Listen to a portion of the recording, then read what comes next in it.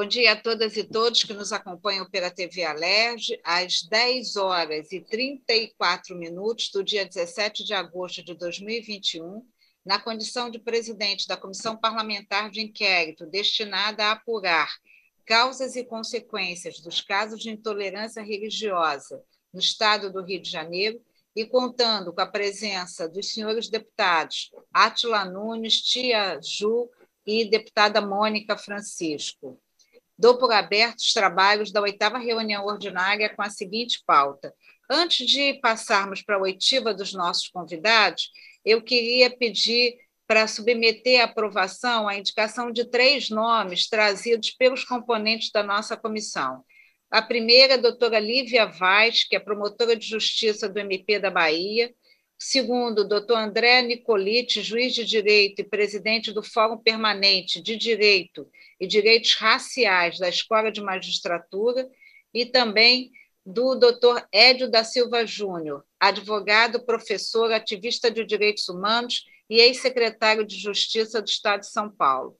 Em discussão, não havendo quem queira discutir, indaga os senhores deputados se concordam com a indicação das oitivas. Como voto o deputado Atila Nunes? Deputada Marta, o professor Edio da Silva Júnior é talvez a, a, a, personalidade mais importante que se possa, que exista hoje no Brasil em matéria de, de combate à intolerância religiosa. Impressionante. Olha, eu acho que até esses três nomes ao mesmo tempo, até muita gente, porque o Edio, ele, ele, ele toma uma, um, é impressionante, a cultura dele, o preparo, é tudo, tudo, tudo, tudo. Ele ganhou todas as causas que a senhora puder imaginar. Eu aprovo. Eu só queria fazer foi hoje um, um pedido à senhora. Educação. Pode falar, deputado. Não, não, especial. Hoje, como a senhora sabe, nós estamos recebendo uma delegação do Rio Grande do Sul Sim. na Assembleia há uma hora se houver possibilidade, nós terminarmos ao meio-dia a CPI. Com Como a senhora é, é, é, controla com mão de ferro o cronômetro, não, é verdade, a senhora sabe, a Mônica sabe, todo mundo sabe. Eu espero que seja um elogio. A Renata está rindo, mas. Hein? Eu espero que seja um elogio. Não, é elogio. Eu não disse que a senhora, pelo amor de Deus, mas é algo inacreditável. Não, não, não, é elogio. Eu fiz colégio militar, eu sei que. Ela é arrasa, ela arrasa, ela é, arrasa. Ela tem um cronômetro ali. Ótimo. Cronômetro. Obrigada. Eu tenho vou medo conduzir, dela. Vou conduzir para encerrarmos. Como vota a deputada Tia Ju? Senhora presidente, mais uma vez, bom dia, bom dia a todos e todas. O nosso queridíssimo Atila Nunes, como diz a Berê, o gaiato. É, na verdade, ele é, é um elogio, sim, é que ele, ele sempre dá um tom de, de leveza na, na questão do humor, do humorístico, mas é precisa. A, a CPI só tem dado resultado porque o cronômetro tem sido seguido rigorosamente. Isso é excelente, porque aí dá oportunidade de todos participarem. Então, o nosso gaiato, deputado Atila Nunes, com todo respeito, que ele sabe do carinho que eu tenho para ele, está certíssimo, deputada Mata Rocha, favorável. Deputada Mônica Francisco. Favorável, presidenta. Já estão conosco deputada Renata Souza e deputado Noel de Carvalho. Deputada Renata Souza. Bom dia, presidenta. Bom dia aí, nosso relator, nossa vice-presidenta. É, também voto favorável, ah. e é claro, né? Eu acho que a Marta Rocha ela consegue conduzir de maneira brilhante essa CPI, assim como tem conduzido outros espaços. Deputado Noel de Carvalho. Favorável, sem dúvida nenhuma. Obrigada. Para a alegria e pela grande oportunidade que teremos hoje, nós vamos estar ouvindo o doutor Jaime Mitropolos, procurador da República, integrante do grupo de trabalho Liberdade de Consciência, Crença e Expressão da Procuradoria Federal dos Direitos do Cidadão, Ministério Público Federal do Rio de Janeiro, o doutor Fábio Amado de Souza Barreto, defensor público, coordenador do Núcleo de Defesa dos Direitos Humanos da Defensoria Pública do Estado do Rio de Janeiro, e a doutora Valesca dos Santos Garcês, delegada de polícia da Delegacia de Atendimento à Mulher do município de Cabo Frio. a indicação da doutora Valesca é, sobretudo, por uma, uma questão pontual que aconteceu naquele município, retratada na semana passada aqui, que se refere à guarda das crianças e dos filhos de, de mães é, que professam a religião, seja Umbanda ou Candomblé. Então, vamos iniciar as nossas oitivas agradecendo a presença de todos e vamos começar pelo doutor Jaime Mitropolos, procurador da República, pedindo a Vossa Excelência que apresente sua manifestação pelo prazo de 15 minutos.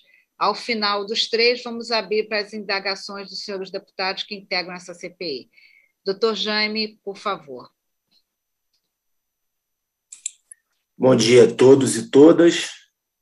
Um prazer enorme atender a esta convocação dessa ilustre CPI, a quem cumprimento a todos em nome da doutora Marta Rocha, com quem eu estive, se não me engano, em 2013, 2014, numa audiência por nós é, realizada na sede da Procuradoria da República no Rio de Janeiro, quando já então a gente já tocava no assunto da, da perseguição religiosa em curso e a gente já cobrava, já naquela época, a instalação de uma delegacia especializada.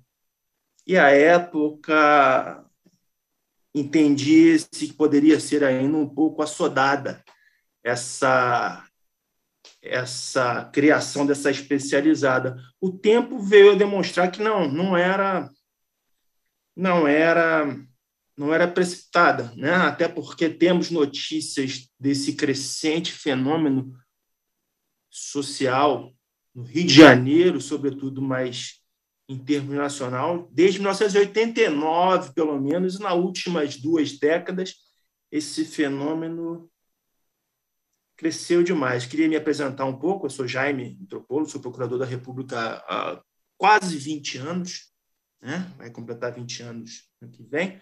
É, produzi junto com um grupo de prevenção e enfrentamento ao racismo, um relatório de âmbito nacional referente ao tema entre 2017 e 2018. Acredito eu que, sobretudo por conta dessa atuação, eu tenha sido lembrado. Ah, trabalho no ofício do patrimônio cultural e meio ambiente do Rio de Janeiro. É, com as mudanças ocorridas na, no Ministério Público Federal em Brasília, atualmente integro esse grupo de trabalho de liber, chamado liberdade de expressão, consciência e crença. Mas, enfim, trabalho já mais de 10 anos em relação a, essa temática. sei que não tenho também direito a voto, mas gostaria de manifestar aqui minha concordância e meu apreço às testemunhas que foram hoje aprovadas, com quem eu trabalho e trabalhei. Tá? É, André Nicoliti é um juiz que milita na causa que eu conheço é, desde os tempos dos bancos escolares. É, doutora Lívia Vaz integrou comigo esse GT de enfrentamento no MPF, embora ela seja promotora de justiça. É, o relatório que eu produzi isso foi submetido a este grupo colegiado que aprovou o relatório e ela integrava. E o doutor Edio também, é, causídico, que milita muito no STF, inclusive nas causas relativas a, ao debate que tivemos sobre abate religioso, né, a sacralização. É, tem militado muito nessas questões relativas às tentativas de retirada de guardas de crianças em iniciação no candomblé. Isso tem acontecido muito no interior de São Paulo e outras causas correlatas. Queria também aproveitar, a, a senhora me controla o tempo, tá? Por gentileza, não quero eu atrasar aqui, estou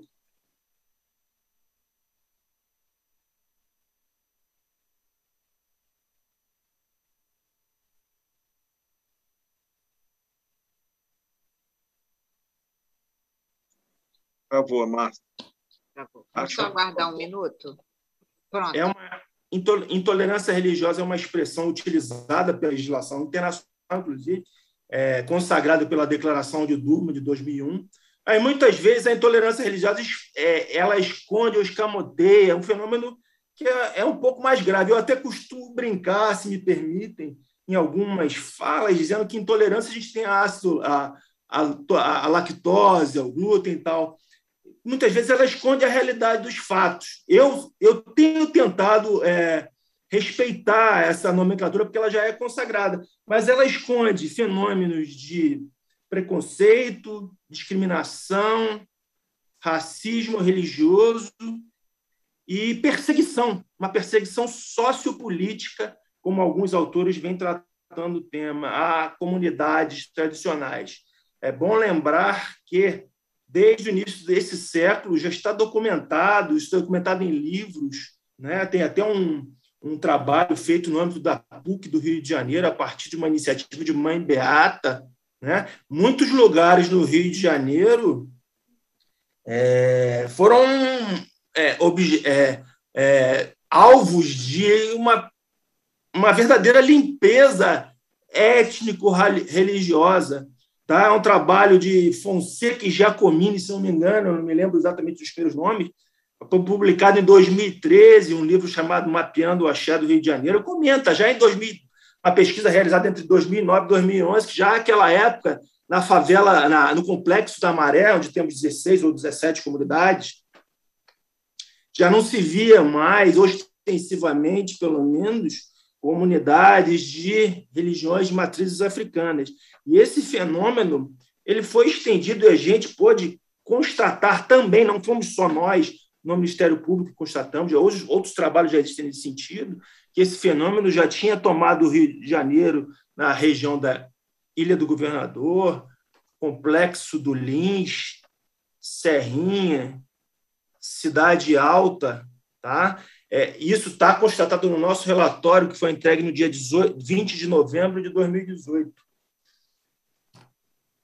Voltando ao relatório específico que nós ajudamos a produzir, ali nós constatamos que a, a é uma questão nacional. Tá? O fenômeno da intolerância religiosa do, e da perseguição religiosa praticada especificamente, quero frisar isso, o alvo, sobretudo, são as religiões de matrizes afro-brasileiras, que, embora o censo de 2010 é, dimensione que elas perfaçam algo em torno de 0,3% da população brasileira, eles alcançam proporcionalmente, e em números absolutos também, é, são as grandes vítimas desse, desse fenômeno social. É, em trabalhos realizados pela, pela Secretaria de Direitos Humanos do Rio de Janeiro, em levantamentos feitos ali entre 2015 e 2018, tá?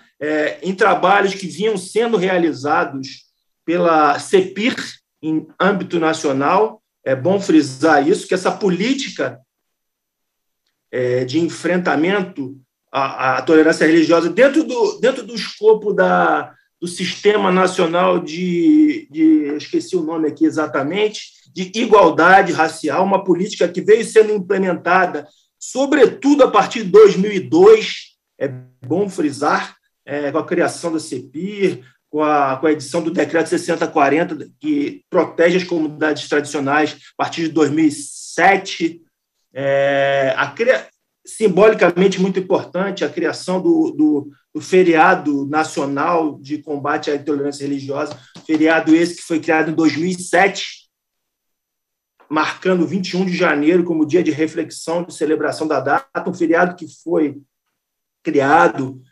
é, sob o mote do, da, da, morte de mãe Gilda, em Salvador, no ano de 2000, um caso rumoroso também. É, eu queria frisar isso.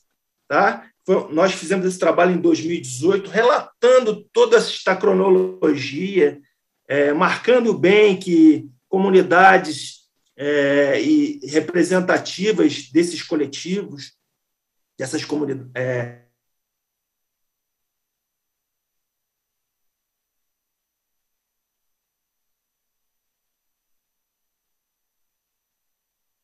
para cá, o, a, com a Constituição, é, existiram mudanças legislativas é, importantes. Está caindo a, a, internet ou está boa?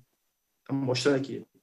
É, alterações legislativas importantes foram feitas, incluindo a, a, o artigo 20 da 7716 de 89, que de início não previa a, a figura do, eu chamo de racismo religioso, sim, tá? Foi uma mudança operada em, 2000, em 1997, logo depois daquele rumoroso evento do chute na imagem da Nossa Senhora da Aparecida, é, uma imagem grotesca é, difundida em rede nacional. Logo depois, em 97, a lei antirracista brasileira ela passou a incluir a figura do racismo, do preconceito, da, da incitação ao ódio religioso é, por motivos, por motivos é, religiosos. Eu gostaria de frisar também que foi constatado no nosso relatório que uma das causas, me parece, e eu acho isso muito importante, eu sei que aqui nós estamos falando da LERJ em âmbito estadual, que tem a sua limitação com relação à legislação, o seu âmbito de, de atuação, mas nós identificamos no, no nosso relatório sobre violência religiosa, Estado laico, que nós produzimos no âmbito da Procuradoria Federal do Direito do Cidadão, esse relatório tinha, vou voltar um pouquinho, é, a finalidade de verificar a existência e a efetividade de políticas nacionais relacionadas à prevenção e, e, ao enfrentamento do racismo religioso. Nós constatamos que essa política veio sendo construída a partir de 2002. Tá? É, constatamos também que o fenômeno da perseguição religiosa ele existe. Ele, em âmbito nacional, isso foi constatado em todas as regiões da, da, da República, da Federação Brasileira, mas com uma situação muito grave no âmbito do estado do Rio de Janeiro. Eu comentei aqui de início algumas, algumas comunidades, algumas regiões da capital, mas isso se estendeu gravemente para regiões da Baixada Fluminense, todos sabemos o que, que vem acontecendo em Nova Iguaçu, em Duque de Caxias. Constatamos muitos problemas em Campos, em Búzios, tá, falamos agora há pouco é, de uma atuação específica da delegada, se não me engano, em Cabo Frio, terreiros sendo apedrejados, incendiados, regiões dominadas por facções criminosas que vêm num crescente já há, há algum tempo, tá? É, é, eu queria frisar isso, que é uma, um, eu denominei nós denominamos de perseguição religiosa, isso já também já está bastante difundido na literatura. Tá? Alguns autores mencionam que se trata de uma perseguição sociopolítica, étnico, racial contra a comunidade. Várias comunidades estão sendo expulsas, terreiros apedrejados, incendiados, em muitas comunidades já não se permite a utilização de vestes é, litúrgicas, nem mesmo trafegar de branco em paz numa sexta-feira tem sido tem sido uma rotina, vamos dizer assim, tranquila. Então, esses fatos, como um todo, além de delinear fatos específicos, foram objeto do nosso relatório. Nós podemos constatar algumas causas, que é, é uma, vamos dizer assim, uma leniência, eu chamei de leniência, de omissão, e também objeto de um. É racismo estrutural. Tá? Sabemos que as religiosidades sempre de 40 do século passado isso mudou mudou um pouquinho com a legislação sendo afrouxada a criação da Afonso Arinos em 1951 quando a República do Brasil começou a, a, a falar efetivamente é,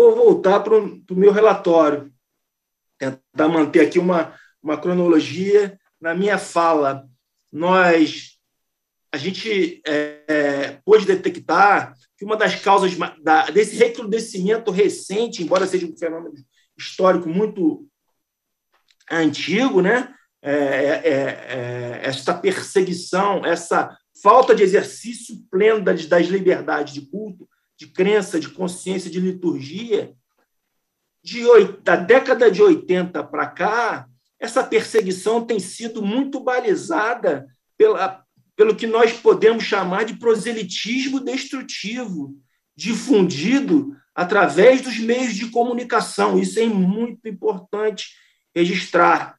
Não é raro nós ligarmos uma televisão, nós pegarmos um livro e sob, isso está muito em voga esse tema, sob é, a, a, o alegado, a alegada liberdade de expressão, algumas vertentes religiosas, alguns segmentos religiosos usarem a, a demonização de religiões africanas para se cacifar né? no, no, no, no, no âmbito religioso. A gente sabe que isso acontece nas meios, no, na televisão, a gente sabe em, em, em, em, canais abertos, em canais fechados, em concessões públicas, no rádio.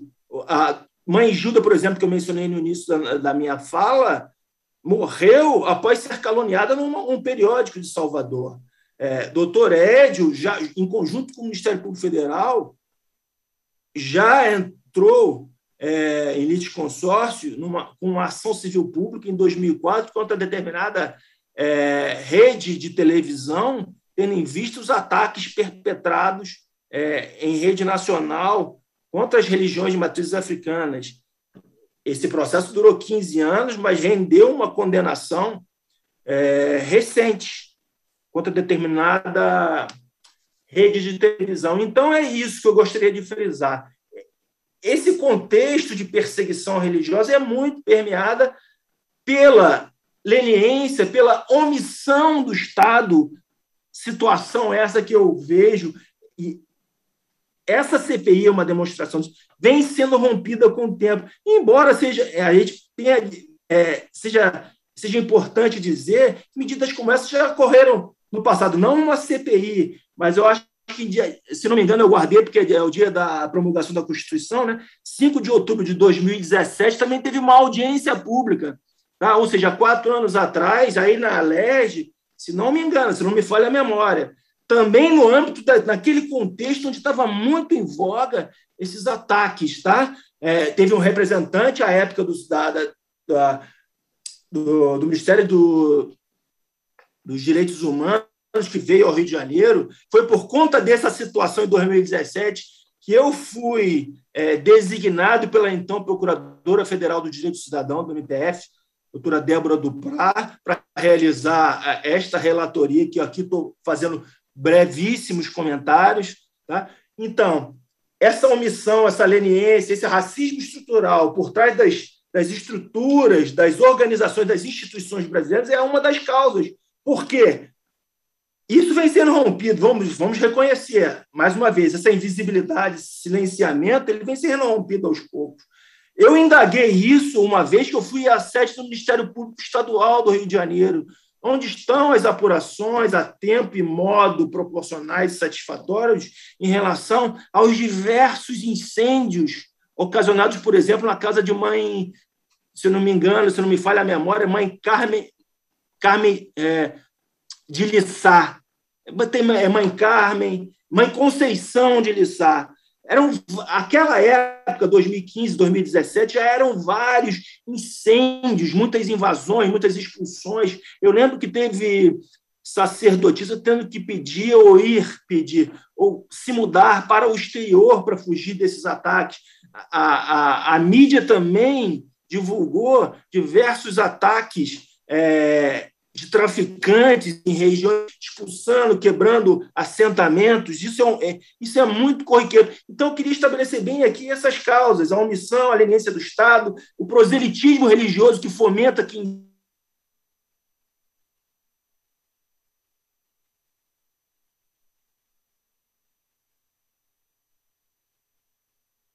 Eu falo isso porque em uma determinada ação civil pública, por exemplo, onde eu propus a retirada de vídeos de discurso de ódio, famoso hate speech, um, do, um dos pastores envolvidos, eu lembro perfeitamente, por isso eu falo, isso não é, era incomum, ele simplesmente mandava, você, fiel, toca no seu irmão e diz para ele que ele está autorizado a fechar os terreiros do bairro. Eu vi isso, eu comentei e pedi.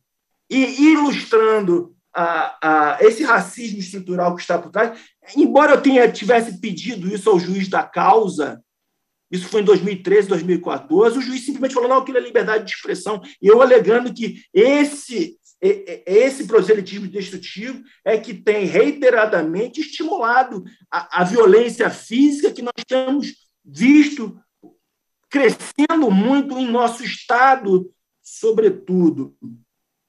São esses dois pontos que eu queria frisar: o comportamento do Estado, o proselitismo destrutivo, é, muito difundido é, em algumas igrejas, mas também através do meio de comunicação. Em terceiro lugar, eu, eu, nós relatamos isso, uma captura progressiva do Estado, do Estado laico, tentativas de vertentes políticas de enfraquecer o Estado laico. Eu não preciso me alongar nisso, que os senhores sabem bem do que eu, do que eu estou tratando.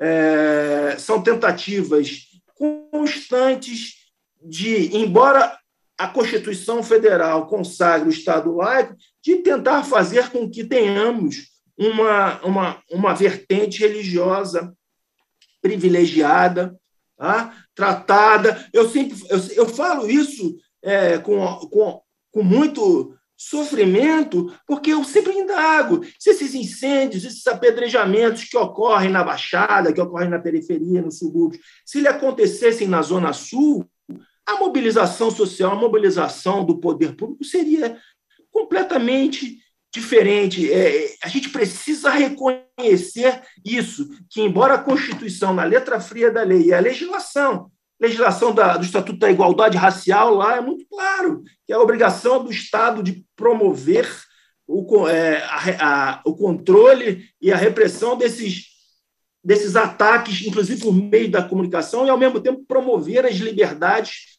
religiosas para que elas possam ser exercidas de forma plena. É, já caminhando para o meu final, é, no, ao, é, ao fim do nosso relatório, a gente é, propôs algumas medidas para que este quadro começasse a ser revertido. Isso, em, em boa medida, vem sendo feito no âmbito do Estado do Rio de Janeiro, com a criação de fóruns de, de coordenadorias de diversidade, diversidade religiosa, que os canais de interlocução com essas comunidades, com essas lideranças de matrizes afro-brasileiras, elas possam é, é, estar operando em, em, plenitude para que se possa ouvir o que está acontecendo, o que, que está efetivamente acontecendo, mas para que o Estado também possa adotar as medidas é, é necessárias e proporcionais para o combate crime, mas também para acolher, né, para buscar uma reparação. É muito importante frisar isso. A participação da sociedade, uma busca do acolhimento das vítimas, a busca da, da reparação, com reconstrução de, de, de templos religiosos, né? de. Enfim, é, é, são mais ou menos é, esses, esses aspectos que eu queria tocar aqui. Outra, outras medidas, nós fizemos esse encaminhamento né, no sentido de melhorar a atuação do CNJ, do CNP, é, trabalhar com o Sistema Nacional de Segurança Pública, uma lei é, recentemente promulgada pelo Congresso Nacional, no sentido de fazer uma interoperabilidade é, entre os sistemas de direitos humanos, de segurança pública, é, no sentido de e, sobretudo, fazer com que o poder público consiga identificar. Falo isso porque, no âmbito desse, dessa relatoria que estou acabando de mencionar, nós oficiamos a quase todos, se não todos, os Ministérios Públicos do Brasil, tá? as Secretarias de Segurança Pública do Brasil,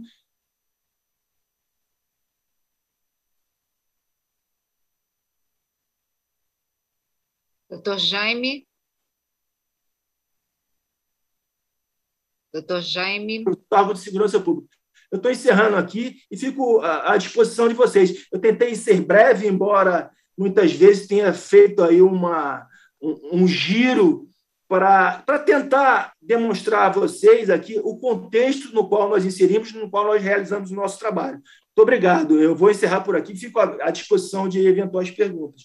Por parte Doutor de... Jaime, eu quero agradecer a sua manifestação e dizer que acho muito adequada essa, essa expressão perseguição. Eu acho que a gente, né, dentro dessa CPI, a gente já tem identificado que o termo hoje intolerância religiosa é muito sutil para o tamanho do problema que enfrentamos. E nos deparamos também com a questão do racismo religioso, mas acho que dá destaque que essa perseguição tem uma conotação social, racial, eu acho que é um termo muito, muito pertinente na exposição dos problemas que a gente enfrenta nessa CPI. E queria pedir ao senhor que nos encaminhasse a cópia do relatório feito pelo Ministério Público, relatório de sua autoria, inclusive, porque eu tenho absoluta certeza que será muito importante aqui para a análise de todos os temas que foram abordados na nossa CPI. Eu vou passar para o doutor Fábio Amado, nosso defensor público, e vou conceder 20 minutos, que foi o tempo utilizado pelo doutor Jaime, e eu não quis interromper, porque em alguns segundos ele saiu do ar, então não quis interromper. Então, doutor Fábio Amado, que é defensor público, coordenador do Núcleo de Direitos Humanos da Defensoria Pública do nosso Estado. Doutor Fábio, por favor. Excelentíssima deputada Marta Rocha, excelentíssima deputada Mônica Francisco, deputada Tia Ju, deputado Atila Nunes, deputada Renata Souza, grandes parceiros nessa luta fundamental pelos direitos humanos no estado do Rio de Janeiro, a todos aqui presentes, a todos que nos assistem pela TV. De início, eu quero agradecer o convite, me sinto muito honrado nesse espaço tão central e importante para abordar essa temática nos dias atuais. Trago aqui o abraço afetuoso nosso defensor público geral, doutor Rodrigo Pacheco, a todas as deputadas e ao deputado. Nós sabemos o, o papel central da Alerj quanto bastião da institucionalidade democrática desse país, e nesse tema específico, no estado do Rio de Janeiro, como um modelo para o país todo, mas nesse tema, nós sabemos que a produção da Alerj é prolífica. Não, não vislumbramos é, omissões ou ausências quanto à produção legiferante nesse tema, muito pelo contrário. A, a LERJ tem se mostrado sempre muito, muito fértil na elaboração e na incidência, na construção das políticas de combate ao racismo religioso. É, eu sou defensor público e sirvo a população fluminense como defensor público há quase 20 anos, completo 20 anos em março do ano que vem. Estou na coordenação da área de direitos humanos da Defensoria Pública há quase sete anos e venho aqui é, não narrar fatos, mas buscar sugestões e apresentar propostas da nossa experiência de atendimento às vítimas de graves violações de direitos humanos, que talvez, após análise das senhoras e dos senhores, possam servir também para o relatório, para o encaminhamento, para que nós possamos incidir e edificar, construir pontes. Nesse tema, que, em linha de princípio, todos aqui presentes, estamos assentes e acordes que o racismo é uma questão estrutural é um, é um problema institucional que encontra sede, base, se espraia por todo o nosso território. Já há muitos relatos na Baixada Fluminense, em Campos, na região dos Lagos, na região metropolitana em geral, aqui na capital, e nós sabemos que, graça a partir de perspectivas que buscam materializar e, e ainda manter essa postura que é fundada numa tradição escravocrata, ainda não dissipada, que nós vemos hoje, esse binômio Antes, discussão de raça, cor, classe, esses marcadores nós olhamos hoje e vemos condomínios, favelas e locais em que os direitos são garantidos ou assegurados de forma bastante distinta. Sabemos também, e é inegável, que as práticas têm sido recorrentes às violações. Temos o dossiê do ISP de crimes raciais de 2020, narrando que, pelo menos, sem considerar as subnotificações, foram duas violações dessa espécie por dia, um caráter sexista misógino de 58,2% serem mulheres. Então, nós, nós, nós não, não discutimos os fatos, mas nós precisamos pensar em, em proposições, em soluções, em tentativas de alterações desse quadro numa luta que já vai muito tempo na história de cada uma e de cada um dos senhores. Deputado Atila Nunes, há, há décadas, um, um grande deputado atuante nesse setor, buscando modificar esse quadro, assim como muitas deputadas que aqui estão presentes. Então, nós, no trabalho, trazendo um pouco aí do meu lugar de fala dentro da Defensoria Pública no atendimento a vítimas, nós temos com clareza dois pontos que têm que ser abordados. O primeiro é prevenção. A prevenção ela passa naturalmente por um processo educacional e cultural. E passa muito pela gestão e uma articulação possível dessa casa de leis, dessa assembleia de construção e de cidadania, para conseguir promover gestões não apenas no executivo estadual, mas também numa interlocução com os executivos municipais, em processos que promovam e modifiquem esse quadro, porque a médio e longo prazo, necessariamente, a raiz da prevenção para quem sabe nós possamos sonhar com uma erradicação, passa necessariamente por processos educacionais e culturais, tanto presenciais como hoje, é, processos virtuais, online, é, campanhas. É preciso construir e difundir uma cultura não de tolerância, né, como já muito citado aqui, porque tolerar sempre te coloca numa situação superior. Você, a partir do momento que você tolera, você se julga acima a ponto de aceitar. Não, ninguém quer tolerância, é respeito, e posição contrária é racismo, materializado em atos de discriminação que podem configurar crimes, como a doutora Valesca depois vai expor de forma melhor. De toda forma, na prevenção, eu dizia, é indispensável que nós pensamos em produções educacionais e culturais, e, para além disso, em posturas de mediação, de conciliação com as lideranças religiosas que podem impactar dentro das suas organizações para buscar modificar esse quadro belicoso de ataque, sobretudo às religiões de matriz africana. É evidente, nós sabemos reconhecemos que todas as denominações religiosas sofrem, em alguma medida, algum tipo de restrição e violência, mas nitidamente, pelos números que nos chegam, estão concentradas nas religiões de matriz africana. Então, um processo que envolve a educação e a cultura ele é central para a modificação desse quadro a médio e longo prazo. Porém, e aí, via de regra, onde nós mais atuamos no sistema de justiça, para além desse momento inicial da prevenção, que exige muita articulação e diálogo, e uma postura muito é, dedicada dos executivos né, municipais, estadual e federal, nós pensamos que aqui há um outro foco fundamental, e a vítima se revela nesse exato momento, se naquele primeiro instante ela era vítima latente em potencial, ao chegar ao sistema de justiça, via de regra, ela já teve seus direitos violados. Violados de forma muito contundente, ameaçadas, expostas, feridas, com seus locais de culto, com seus templos sagrados destruídos.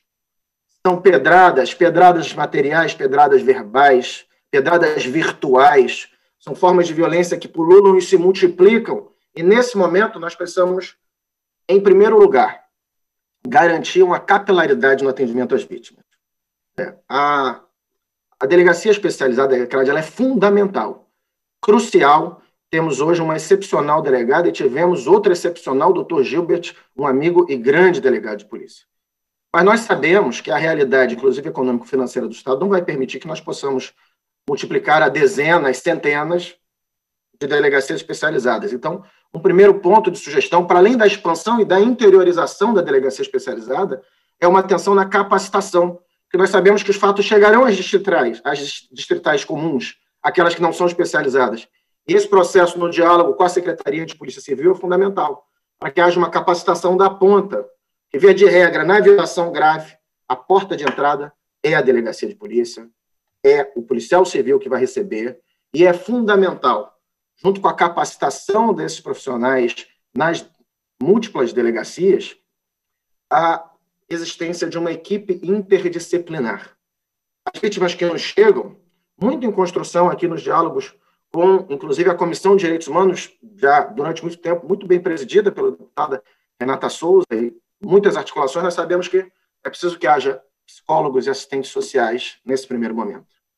As pessoas chegam devastadas emocionalmente pessoas chegam com a necessidade de alguma busca e alguma orientação também no campo social, seja na localização de um abrigo, na captação de um documento, qualquer questão que envolva o serviço social. Então, essa equipe interdisciplinar ela é crucial, seja no centro, né, como, como as senhoras e senhores construíram e, e há de ser implementado e pulverizado pelo Estado em núcleos e centros de atendimento à violência, mas também nos, nas portas de entrada que haja sempre nesse atendimento inicial uma equipe interdisciplinar, capaz de trazer outros saberes, saberes que nós, do sistema de justiça ou do sistema de segurança, é, não nos preparamos e não fizemos a graduação toda e pós-graduação para poder atender da forma mais empática e humana as vítimas desse grau de violência.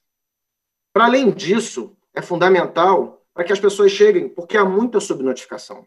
Chegam pouquíssimos casos à Defensoria Pública, sobretudo quando há violações de, de terreiros, de barracões, porque muitas vezes são perpetrados por traficantes e milicianos. E as pessoas não têm segurança para relatar aquele fato. Por mais que o inquérito seja sigiloso e a sua identificação durante a fase policial ela não seja compartilhada e não seja divulgada, a partir do momento em que existe oferecimento da denúncia pelo Ministério Público, evidentemente, o réu ele vai ter acesso à informação. Evidentemente, essas testemunhas vítimas serão ouvidas, ainda que não na presença, mas os seus dados ali estarão. O seu nome, ao menos, vai ser público e conhecido. E por medo de represálias e retaliações, nós sabemos que essas pessoas não notificam, elas não registram o fato e permanece essa cifra oculta dessas múltiplas violações, desse racismo religioso tão disseminado. Para que essas pessoas tenham segurança, é fundamental que o Estado é, traga a provisão de programas de proteção.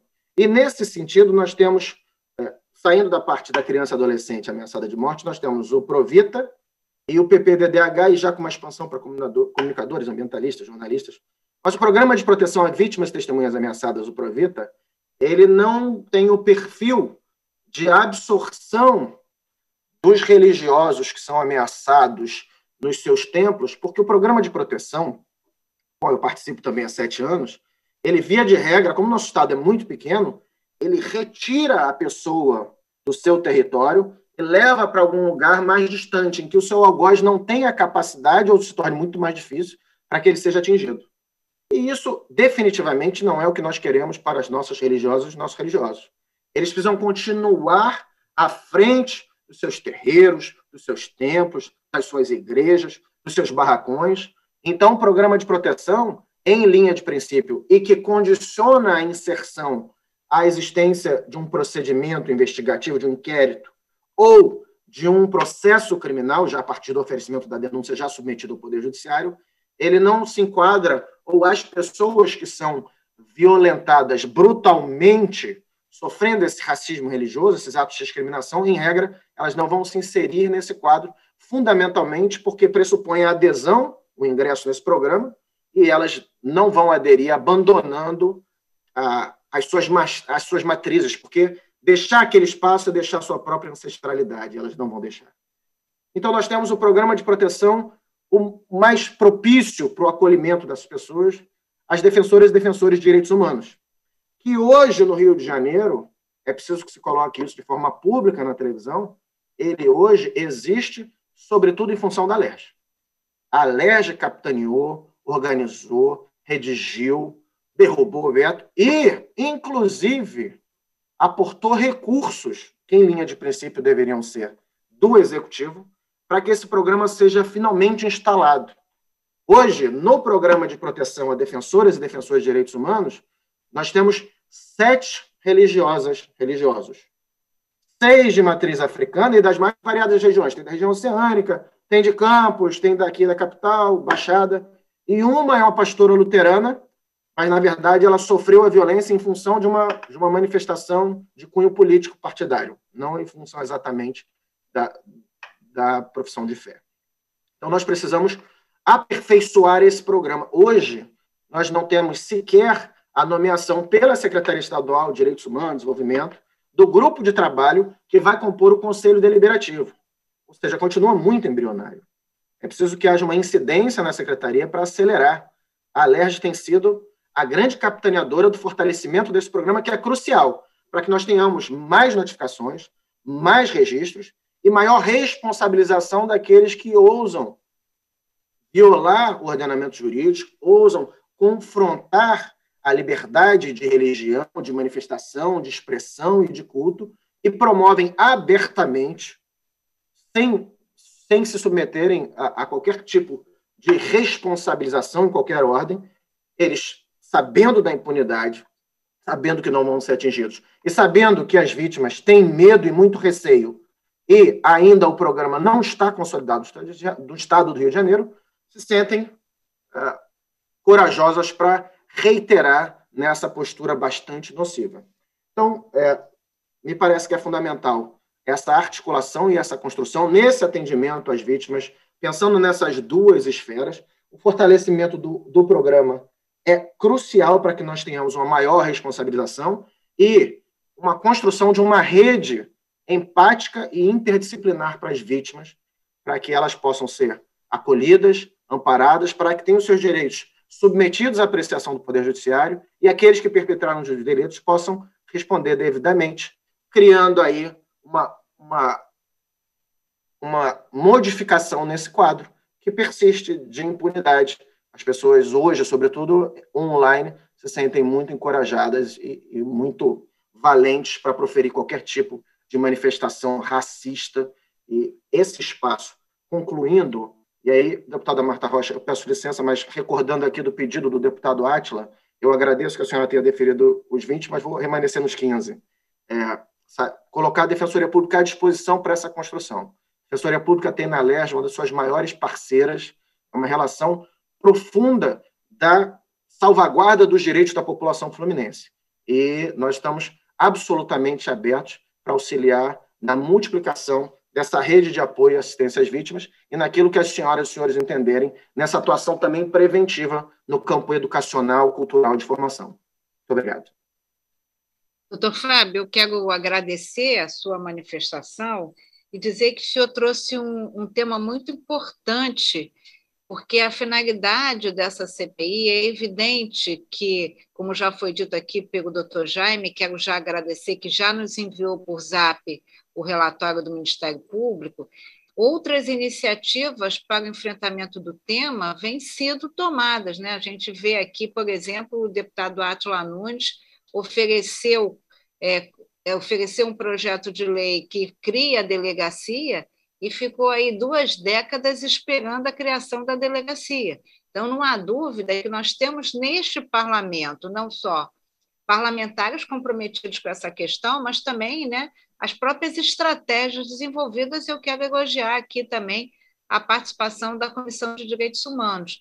Mas esse olhar de que nós precisamos, já que não temos um programa específico, que a LERJ tem que é, cobrar a existência desse programa e ajudar na estruturação adequada desse programa, é, nós estaremos aqui ouvindo o secretário estadual de Direitos Humanos.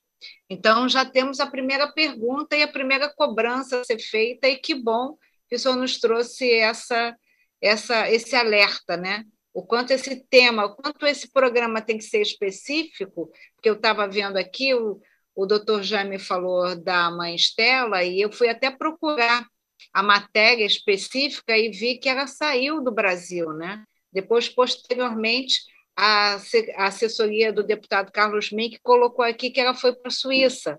Aproveitar e registrar também a presença da assessoria do deputado Valdec Carneiro. Então, na verdade, a gente percebe o quanto esse tema precisa né, de ações efetivas de proteção. E me agradou muito quando o senhor colocou né, que, via de regra, quando o fato chega ao conhecimento do MP e da própria Polícia Civil, né? É, a, a, violência já foi praticada, a intolerância já foi expressa nos seus mais diversos, é, das suas mais diversas modalidades. Né? Então, a nossa ação de restauração, de proteção, né? ela tem que ser mais efetiva, sem dúvida nenhuma. Quero também registrar aqui a presença de Dolores Lima, de Daiane Cooperman e da professora Ana Paula Miranda, da UF, que sempre nos acompanha, Agradecendo ao doutor Fábio, passo então para a doutora Valesca, delegada titular da Delegacia de Mulheres de Cabo Frio. Doutora Valesca, por favor. Eu sei que ela está conosco, mas ainda não apareceu. Doutora Valesca.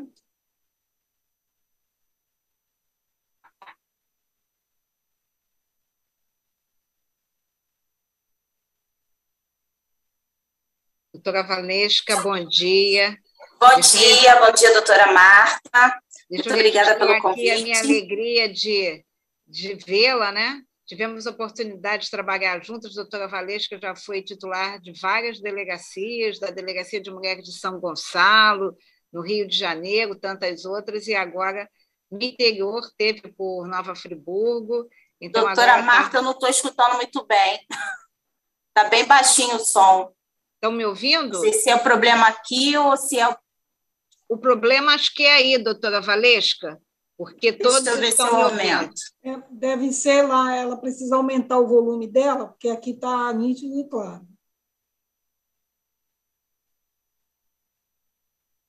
Bom, na verdade, está melhor? Um pouquinho melhor. Tá. Mas porque a senhora está me escutando bem? Muitíssimo bem. O ah, que a então... gente deseja, na verdade, doutora Valesca, é que a sua atuação foi objeto, inclusive, de uma matéria jornalística a respeito de um caso de intolerância religiosa que acabou resultando na subtração de uma criança por seus familiares. E a senhora recuperou essa criança no mesmo dia e fez o um registro de ocorrência e encaminhou ao Ministério Público. Então, na verdade, a gente queria conhecer bem como se deu esse fato e as medidas adotadas após a sua, o conhecimento desse fato pela delegacia de polícia. Ah, sim.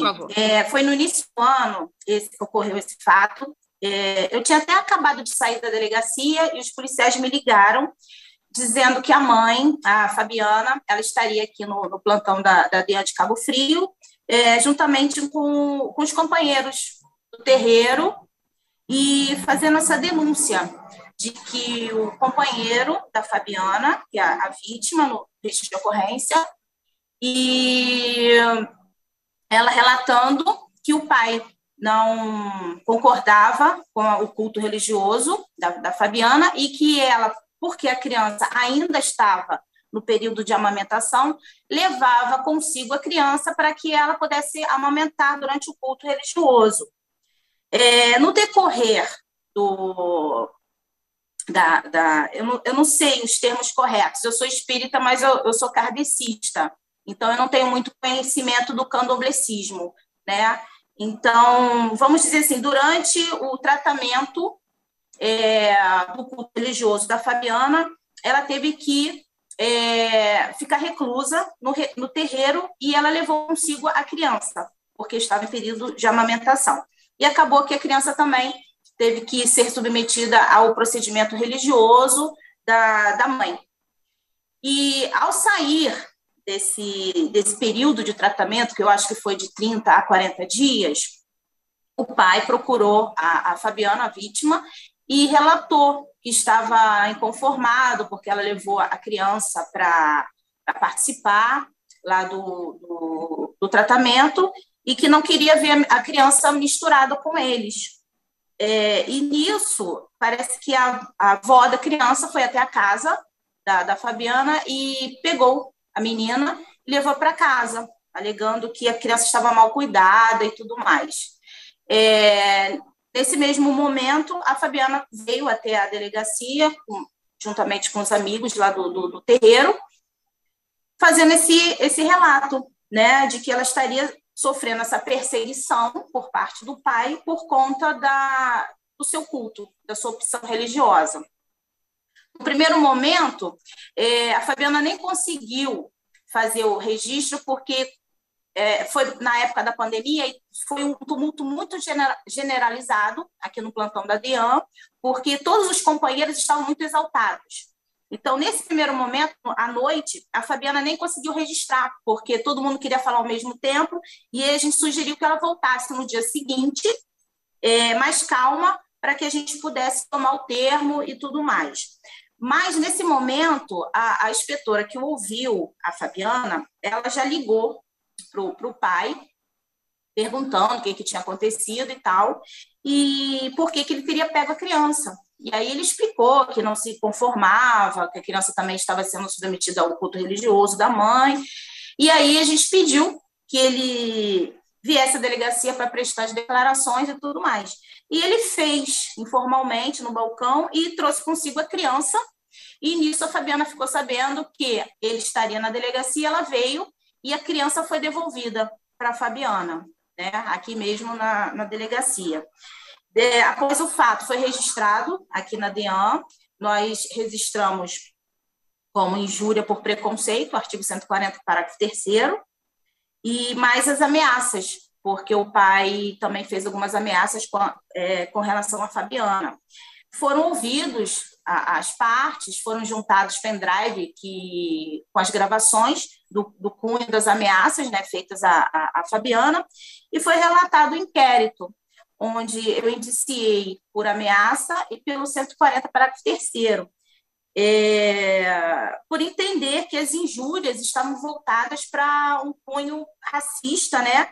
Uma, uma, injúria qualificada, porque ele dizia que não queria que a, que a criança estivesse envolvida com, com os companheiros da Fabiana lá no terreiro. Mas, chegando ao Ministério Público, a denúncia ela foi parcial, porque foi arquivada justamente quanto essa parte da intolerância religiosa, né, da injúria qualificada. É, só foi aceito a parte da ameaça.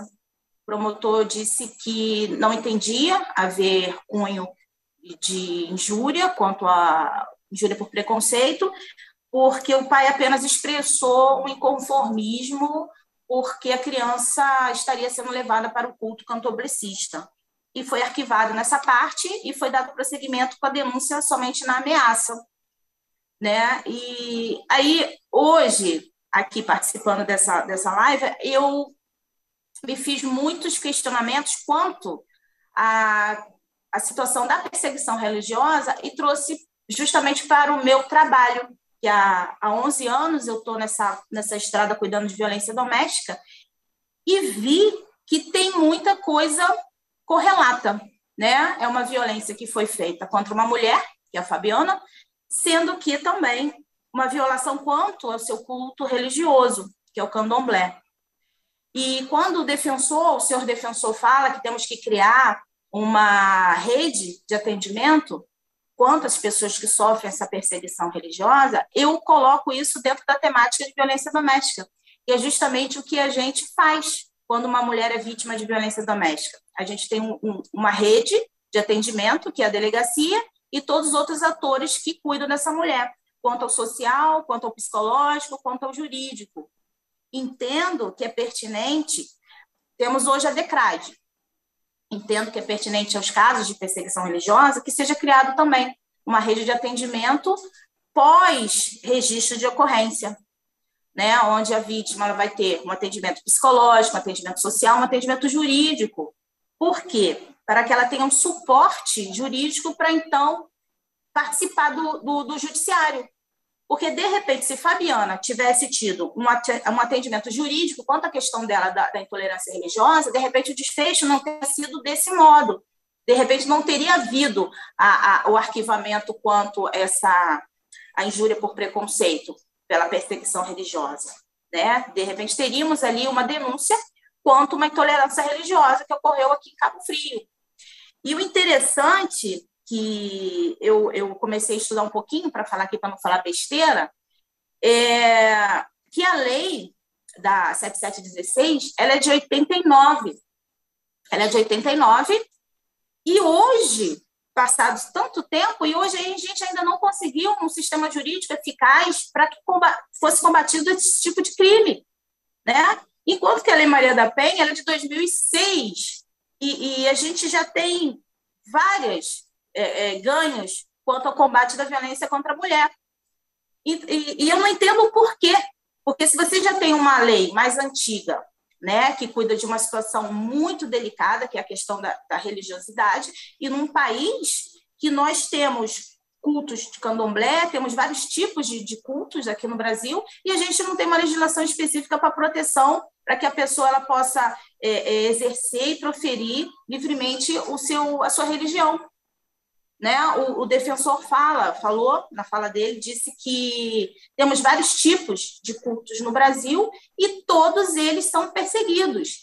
Alguns são muito mais perseguidos e outros são menos, mas todos, no geral, são perseguidos.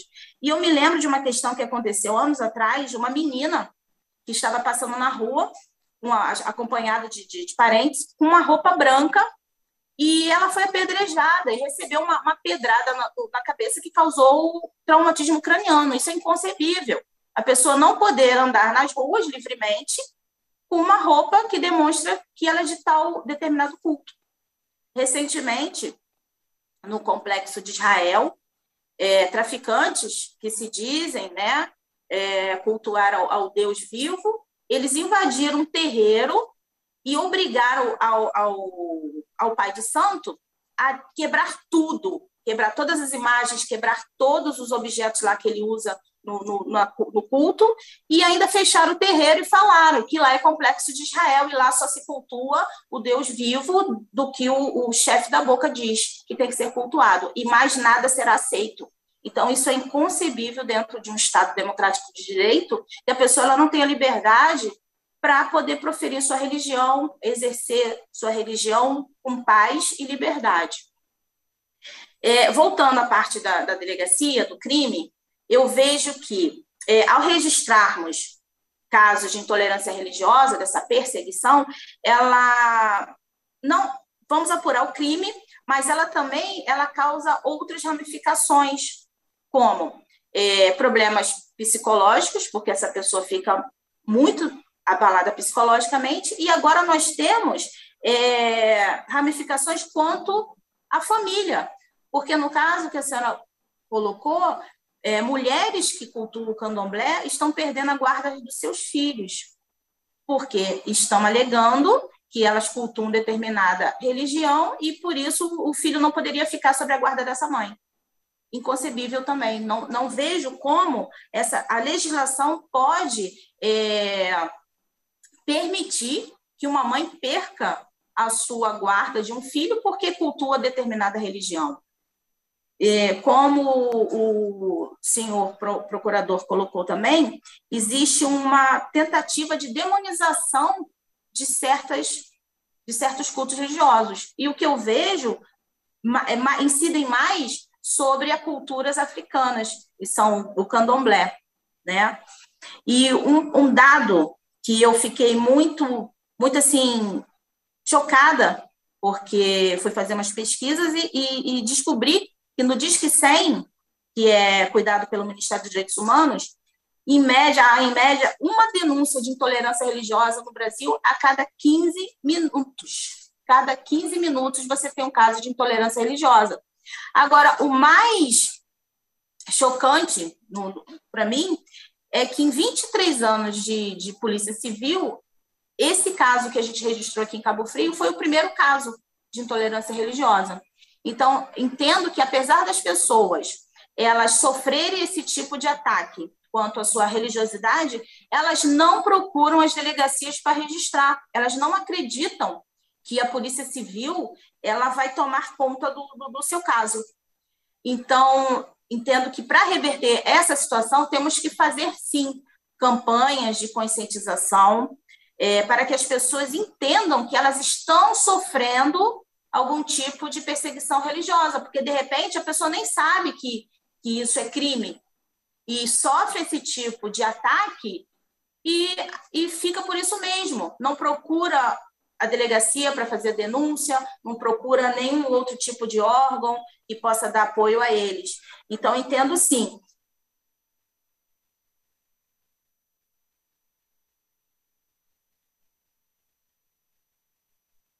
Doutora Valesca.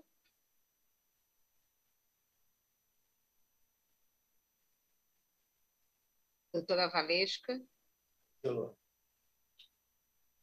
Eu vou continuar aqui, quando a doutora Valesca voltar, imediatamente eu passo. Eu queria só fazer uma observação, e já abrindo para os nossos deputados, é que durante muito tempo, me dirigindo aí muito também para o doutor Fábio Amado e para o doutor Jaime, durante muito tempo, a Delegacia de Mulheres acaba sendo porta de entrada de outros delitos, né?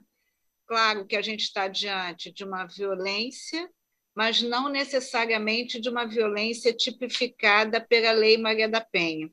Então, da mesma forma que nós temos a DECRAD, que é única no nosso Estado, embora nós tenhamos aqui um projeto de lei de nossa autoria pedindo a interiorização da DECRAD.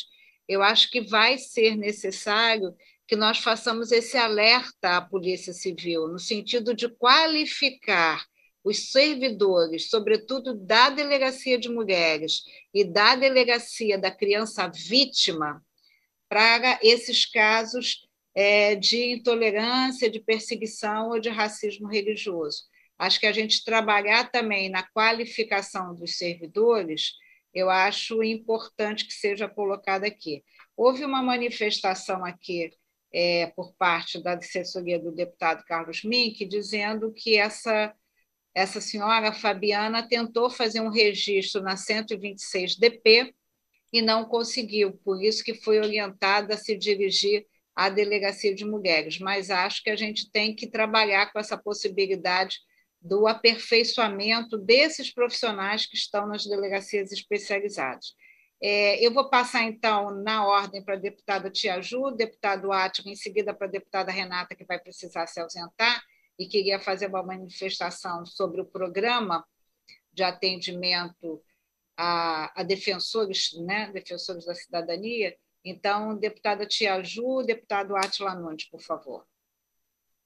Mais uma vez, bom dia a todos e todas saudar a nossa presidente e, na pessoa da presidente, saudar todos os deputados é, e deputadas presentes, doutor Jaime, com sua belíssima explanação, o doutor Fábio Amado, que realmente é um querido, é um amado mesmo, e a doutora Valesca aí com as suas contribuições, trazendo aí esse registro né, desse, desse grave ocorrido.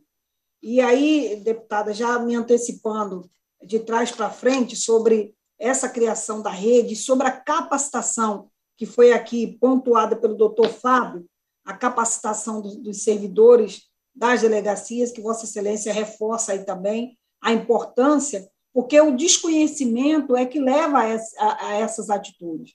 É, o desconhecimento do fato, o desconhecimento do crime em si, de uma violação de direito, leva a, a, a, os, os, os, servidores ali no momento da delegacia não, não vê necessidade, achar que não é necessário é, fazer um registro. Né? É, e a capacitação aí será de, de grande valia. Eu quero ponderar aqui só algumas coisas bem, bem é, é específicas que já foram trazidas outras vezes. É, a questão é, do fenômeno da perseguição, né, que o termo intolerância, a gente precisa realmente trabalhar ele, que ele não está cabendo mais, não cabe mais, e é, é um fenômeno realmente de perseguição religiosa, social e racial, como disse, como trouxe aí o doutor Jaime. É, e, e, a omissão do Estado em, na maioria dos pontos e dos casos, né, que leva essas vítimas a ficar no desamparo. Eu queria trazer aqui é, também, uma questão que o deputado Atlas trouxe na nossa reunião de CPI passada, e quando ele fala do silêncio dos religiosos, até dos evangélicos, com relação a esses atos de intolerância, ele se referia, no caso, aos ministros, aos pastores, bispos, enfim, aos diáconos. É, muitos deles nos relatam, eu sou muito próximo a essa comunidade religiosa, por ser evangélica, a maioria dessas, dessas igrejas elas ficam dentro de comunidades e esses pastores também ficam meio que com medo e acuados das ameaças que sofrem silenciosas se caso se manifestarem. Então, é uma situação espada de dois gumes que a gente costuma falar, porque quem, quem vem cometendo, a maioria das vezes, esse, esses atos são é, criminosos, é, é, é são, são facções criminosas. Facções essas que o Estado não tem dado conta de conter. O Estado, nós temos territórios de favelas no nosso Estado que a polícia só consegue atuar com a repressão, com tiro, com porrada, com bomba, como a gente vê aí é, é, em diversos momentos e acaba vitimando pessoas inocentes, não com a intenção de entrar ali e vitimar inocentes, mas a, a repressão que se é usada acaba contendo acaba trazendo isso.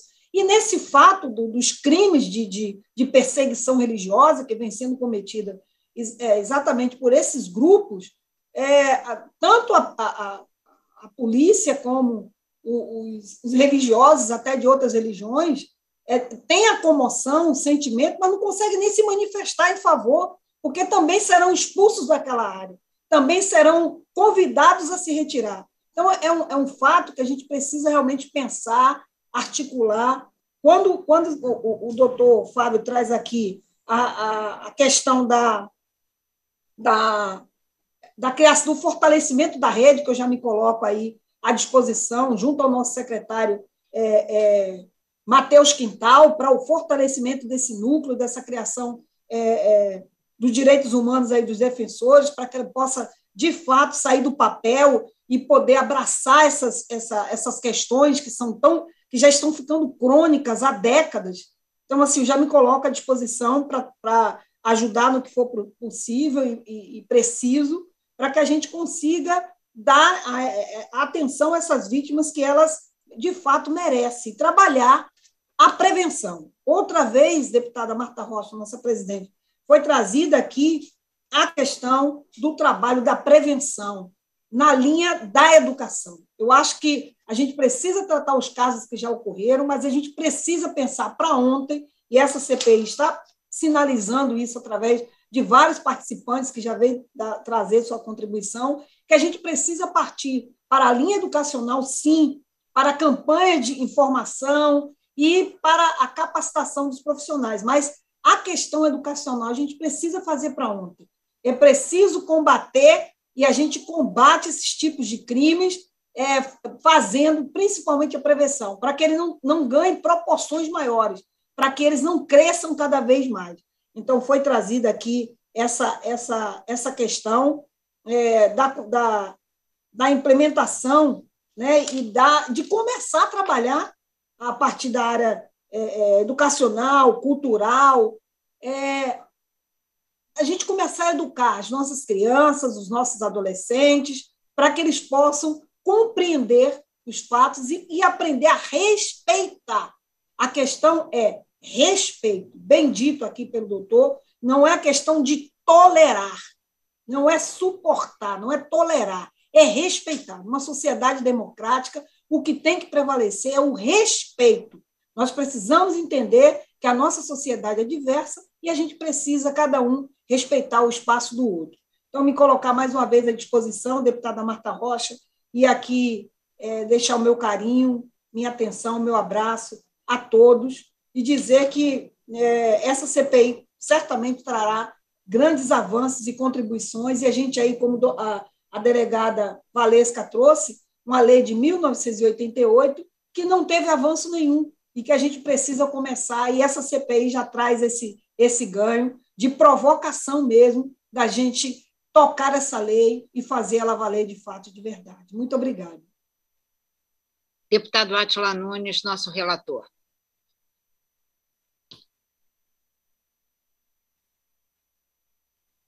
Bom, o, o doutor Mitropoulos, bom, bom dia a todos, já falei bom dia, bom dia meus colegas, presidentes, né? Eu quero agradecer as citações carinhosas do Dr. Mitropoulos e do Dr. Fábio Amado. Uh, eu tenho muita admiração pelo Dr. Mitropoulos. Eu tenho muita admiração por ele, pelo que ele tem feito, pelo trabalho, etc. E o Dr. Fábio Amado, idem eu tenho observado, eu estou agora vendo esse depoimento da delegada, deputada Marta Rocha, e ontem, raramente eu faço isso, raramente eu faço isso, mas é bom hoje a gente ter um procurador federal, doutor Fábio, e a delegada na nossa audiência. Ontem eu estive na DECRAD, uh, e, e, eu confesso a vocês que eu, eu tive que ir lá pelos pelo que está acontecendo, está né, tá viralizando na internet. É, um dos seguidores do daquele auto intitulado Pastor Pirani, aquele que ameaçou o doutor Henrique, sua colega Tamar, que já foi condenado pelo Supremo Tribunal Federal. O doutor Mitropoulos deve conhecê-lo, né? o Pirani, todo mundo conhece, né? uma dele chamado Geração de Cristo, algo parecido. Está no relatório. Ele, tá no relatório. É, pois é. Ele tem uma série de uma série de seguidores e, e ele agora ele utiliza palavrões, etc., nos seus nas suas pregações, etc. O braço direito dele, ele é muito violento, é um rapaz muito violento, Marta. Eu queria chamar a atenção pelo seguinte: tem dois tipos. Como você tem a violência contra a mulher, você tem vários né, tipos de violência. Você tem, no caso do preconceito religioso, você tem o xingamento, né? Mas você tem a agressão física, né? que pode ser depredar um terreiro, etc. E esse mesmo pessoal enfrentou a tropa de choque da Guarda Municipal em Copacabana um ano e pouco atrás. São bons de briga, são rapazes fortes, parrudos, etc., são bons de briga. E esse rapaz, que é o braço direito do Tupirani, ele gravou um vídeo de 15 minutos. Ah, amigos, não sobrou praticamente ninguém. Vocês não vão acreditar, né?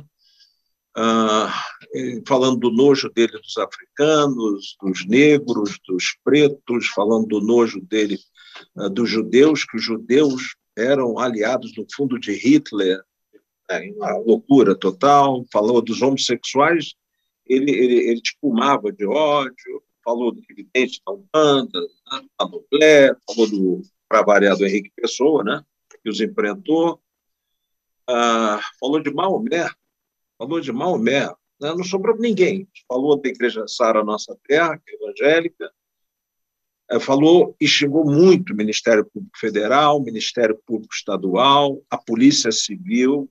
Né? Ele foi muito agressivo em relação à Polícia Federal. A Polícia Federal foi demais. Uh, acusando de corrupta, a uh, Polícia Civil, idem. Enfim, são 15 minutos de ódio né, de ódio, etc., que eu estou me mobilizando para entrar em contato com o Instagram e com o, o Facebook e o YouTube, porque já que eles estão, são preocupados com os discursos de ódio né, na, no campo político, vocês verem esses 15 minutos, são 15 minutos enlouquecidos, enlouquecidos. Uh, eu peguei os 15 minutos ontem e levei para a Márcia Noelia, delegada da Decrade, eu estou fazendo o seguinte: estou encaminhando. É, hoje eu estou indo ao Ministério Federal, Ministério Público Estadual, fui ontem à DECRAD, vou à Polícia Federal, vou pegar um avião, vou entregar pessoalmente ao ministro da Justiça, vou fazer tudo direitinho dentro da lei, dentro da lei. E nesse ponto eu sou obrigado a reconhecer que esse pessoal da, da, geração de Cristo, eles são é um grupo como se fosse um grupo de milícia, paramilitar, sei lá como você queira chamar. Digamos, eles aproveitar o termo o, o, da moda, né? São os talibãs. São os talibãs né? do, do, do que, que se autodizem, que se dizem evangélicos. Então, numa hora dessa, Tia Ju, eu, por exemplo, eu, eu, eu sou bem claro, a Mônica também, que é evangélica, né? Eu sou bem claro de dizer o seguinte, que não são evangélicos. A mesma coisa, você passa num viaduto, né, ô Marcos? Está lá, traga o seu amor, vovó Maria Conga traz seu amor em sete dias, aquilo não é um bandismo. É óbvio que não é, evidentemente que não é. Né? O vídeo tem um minuto, Marta. Né? Eu estou incluindo nos meus cinco minutos. Eu queria dar, pedir a sua assessoria, está por aí, se ela puder passar, eu só estou passando um pedacinho pequenininho, porque 15 minutos não dá para passar. Né? Depois eu posso disponibilizar vocês, porque não sobra para ninguém. A área de, então, de homossexuais é, um, é uma tragédia. Danny Cooperman, ele diz que os judeus eram aliados de Hitler. Negócio. Né? É, bom, sei lá. Eu peço a sua assessoria, um minutinho só de vocês, essa atenção, por favor. Pedir assessoria para colocar, por favor. Deputada Marta Rocha, deputado Atlas, aí enquanto prepara o vídeo, seria importante a gente convocar, ainda que por eh, de forma coercitiva, esse indivíduo para a CPI. Não sei se Vossas Excelências concordam, porque, de fato, eu assisti, Atlas, até me, me solidarizo contigo, e com todos que ele atacou, com todos, é um absurdo. Vocês vão ver o vídeo, eu assisti o vídeo todo. Eu queria propor que a gente é só um minutinho, porque Isso, são 15. Botar. Depois eu falo. Vou colocar o vídeo aqui, só um momento.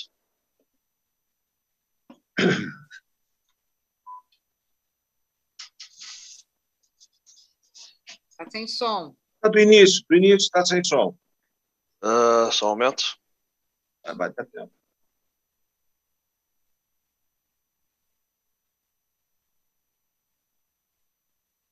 Esse é o braço direito, vocês estão me ouvindo, né? Esse é o braço direito do Tupirani. Né? Esse é o braço direito do Tupirani. Aí vocês vão dizer o seguinte, mas ah, não é que também vai dizer o seguinte, ah, mas o, o Tupirani, numa linguagem popular, não é o Zé Ruela. Não, não é assim, porque são pessoas violentas. São pessoas que depredaram o terreiro no catete.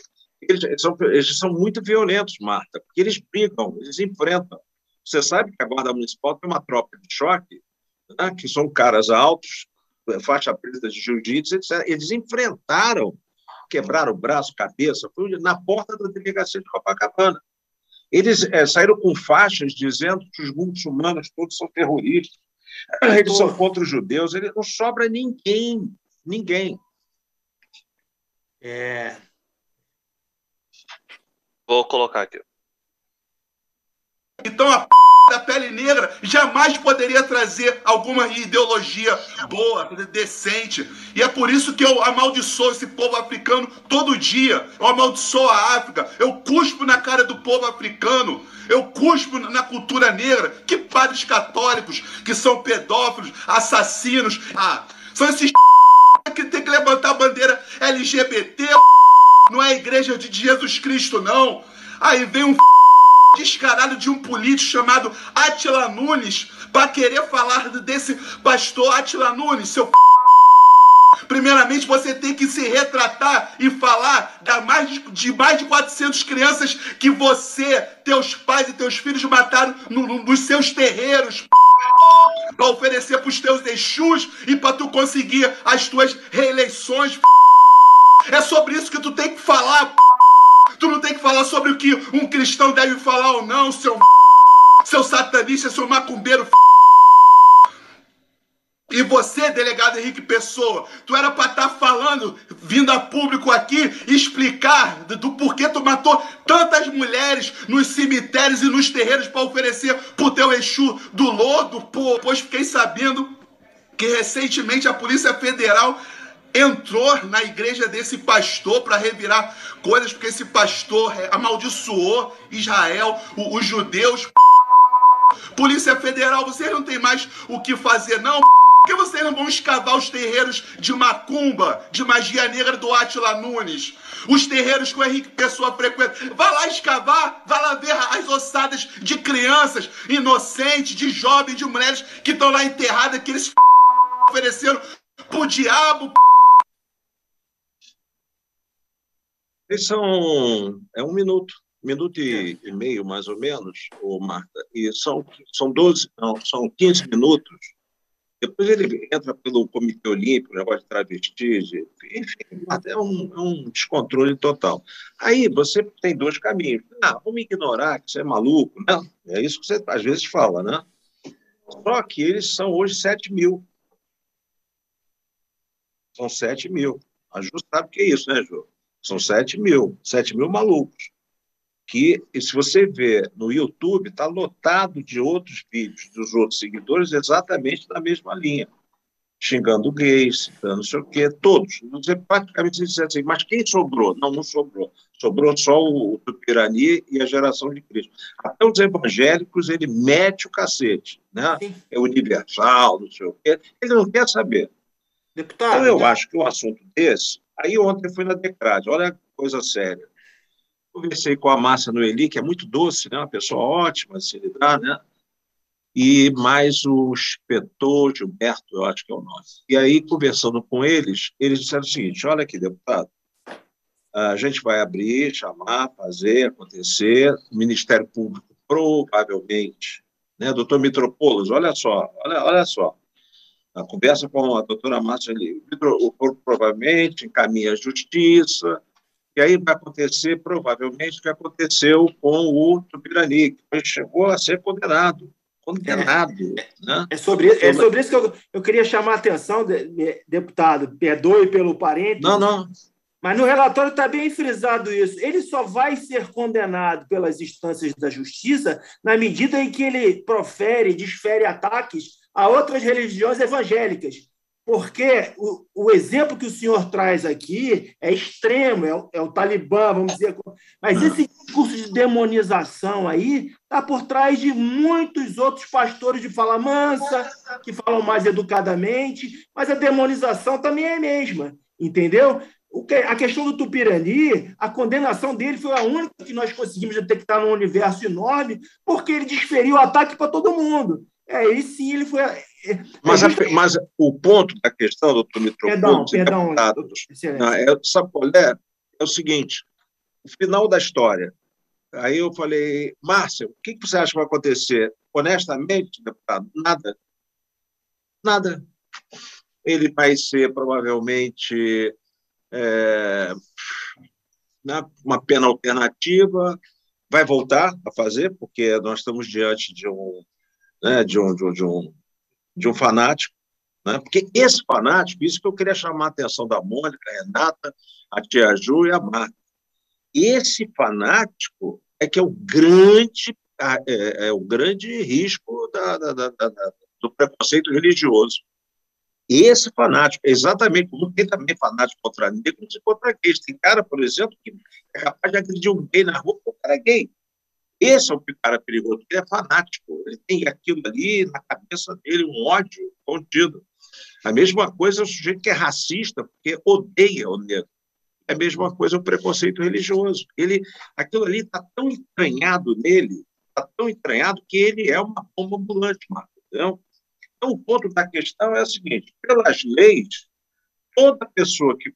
É, eu estou falando de preconceito religioso, hein, pessoal? Não estou entrando no preconceito racial preconceito religioso, o final é um final, digamos assim, decepcionante, em termos de punição, decepcionante. É, é uma, uma pena alternativa, é aquilo duro, o juiz já não tem, não percebe exatamente a periculosidade do cara. Esse rapaz, honestamente, ele tinha que sair um tempo da sociedade. Então, eu estou trazendo isso, não é por minha causa, não, porque eu, isso aí eu não ligo para isso. É, é eu acho que a CPI a te ajude já, vamos chamar o cara. Pode ser, ô te, te ajude, pode ser, pode ser.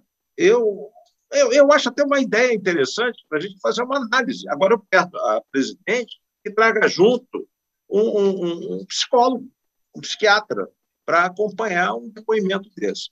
Pronto, era isso que eu queria dizer apenas. Antes de passar para a deputada Renata, é, primeiro, é, deputado Átila, externar aqui a nossa solidariedade e eu pessoalmente vou ligar não só para a delegada Márcia Noegui, mas também para o secretário da Polícia Civil. Obrigado. Acho que tem outros, outras questões que podem ser analisadas, né? É, acho que a gente tem que também, vou conversar com a delegada Márcia Noeli sobre a possibilidade de compartilhar esse fato com a Delegacia de Crimes, de Repressão aos Crimes de Informática, na medida em que está se dando aí ah, dentro da, da informática, né? eu acho que a gente tem que trabalhar com a busca de mandados para retirada dessas dessas páginas do ar. Acho que tem muitas coisas a serem feitas e acho que o doutor Fábio e o doutor Jaime também podem contribuir muito. Né? Eu queria me permitir apenas que a sugestão da deputada Ju seja analisada por nós numa pequena conversa que faremos, né? porque eu entendo que a deputada Tia Ju diz, mas eu queria assim analisar um pouco e falo né, é, falo porque nós vamos estar, talvez, é, dando uma ferramenta de defesa de um processo de intimidação. Então, acho que isso merece uma análise pessoal. Eu quero expor de uma forma mais reservada o que, que me, me ocorreu após a sugestão. Entendo perfeitamente, acho que a Tia Ju é o que foi dito aqui, acho que estamos aqui exercitando quais as ferramentas que podemos utilizar mas queria discutir isso numa reunião reservada. E acho que esse fato, não porque esse fato é, afeta a um deputado estadual, absolutamente não é nada disso. É porque eu acho que esse fato é, ele é o ápice de que foi apresentado. Acho que fatos como esse foram dirigidos a outras pessoas que não tiveram a possibilidade de fazer o devido enfrentamento, como você está fazendo, não em razão do seu mandato, não, mas em razão também né, da sua autonomia, do seu compromisso de vida, da sua postura política, não política parlamentar, mas enquanto pessoa, enquanto político. Então, acho que é, é importante que a gente tenha atenção para isso. E aí eu quero passar para a deputada Renata e depois para a deputada Mônica. Estou é, vendo aqui as manifestações da Daiane Cooperman, né, que representa aqui a questão do, do povo judeu, e ela coloca né, muito bem quanto as ofensas também são dirigidas ao povo judeu. Então, deputada Renata, em seguida, a deputada Deputada Mônica. Marta, dois segundos só.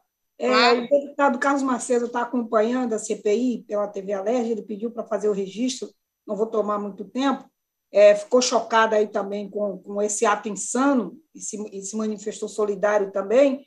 E outra questão, assim, eu discordo um pouco do, do doutor Fábio quando diz que é, é, quando for levada à instância a agressão aos evangélicos, que isso chegaria a uma solução. Já tivemos casos, doutor, e o final foi igual o deputado Atlas falou, não deu em nada.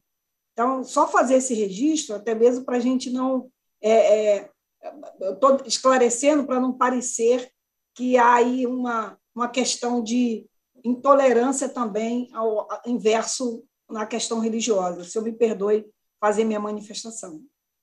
Ao final, eu, o doutor Jaime pode se manifestar, então, agradecendo ao deputado Carlos Macedo nosso querido companheiro de parlamento, pela sua manifestação, deputada Renata, deputada Mônica Francisco. Bom, boa tarde já, né? Já chegamos aí ao meio-dia. Quero agradecer ao doutor Jaime, ao doutor Fábio Amado e também à delegada Valesca pela excelente exposição e contribuição a esta CPI, mas gostaria de trazer aqui não só a minha solidariedade a, ao deputado Atila Nunes, que né, você imagina, né, é, ter a certeza de, de impunidade atacando dessa forma tão violenta e vil, né, e pelas redes sociais que se sentem inclusive até protegidos, né, por essas telas, a gente vê o quanto que essa pessoa não poderia causar de dano numa mulher, numa mãe de santo, numa população LGBTQIA+, né, o quanto que essa pessoa não poderia vir é, a efetivar uma, uma agressão. Então, eu acho aqui que é lamentável essas cenas que acabamos de assistir, mas que evidenciam é, um, um, uma espécie, digamos assim, de naturalização da violência contra as religiões de matriz africana. Ele, ele desferiu as, o seu preconceito a diversas religiões, mas é impressionante quando ele fala, por exemplo, das religiões de matriz africana, que odeia a África, inclusive. Então, não é à toa, né? A gente sabe que o racismo religioso também opera por essa lógica, né? Toda a lógica, todo um absurdo de evidenciação de, um, de, um, de uma perversidade que remonta aí à história do Brasil, né? Quando consideravam que o povo africano não tinha não tinha é, sequer alma e que, portanto, deveria destituí-lo de todas as suas é, religiões vindas aí dos países de África. Então, aqui, ressaltar o quanto que isso, nos dias de hoje, 2021, ainda é colocado na voz desse sujeito que, enfim, desferiu toda essa violência. Mas queria ressaltar, a gente falava aqui no nosso último encontro, todos os processos de reparação a essas vítimas de violência e racismo religioso, todos os processos também de corresponsabilização do Estado nesse sentido. Né? E, por óbvio, o doutor Fábio Amado trouxe aqui o avanço que foi a gente conseguir aprovar nessa casa um projeto de lei de nossa autoria, junto com o deputado André Siciliano, é, criando um programa de defensores e defensoras de direitos humanos, também trazendo a possibilidade aí de incluir comunicadores e também é, ambientalistas nesse programa que a gente vê, inclusive, com uma preocupação. A gente já tinha um programa nacional e, nesse sentido, os recursos para o Rio de Janeiro foram escasseados, né? Então, evidentemente, mostrando a, a, a falta de investimento e de vontade política, inclusive do governo federal, em é, respaldar e resguardar essas vítimas de violência, respaldar e resguardar defensores de direitos humanos. E não à toa é esse o programa que hoje acolhe essas vítimas de racismo religioso também. É hoje, no estado do Rio de Janeiro, quem tem condições de trazer esse tema é, de maneira mais concreta e corresponsabilizando o Estado. Então, nesse sentido, nós conseguimos é, criar o programa no estado do Rio de Janeiro, garantindo assim que o governador também do estado possa fazer um aporte financeiro importante para garantir esse cuidado, para garantir que essas pessoas é, violentadas sejam acolhidas e tenham ali a possibilidade de professar a sua fé, a sua religião e também de defender os direitos humanos sem ser assassinadas, sem ser as novas vítimas desse processo.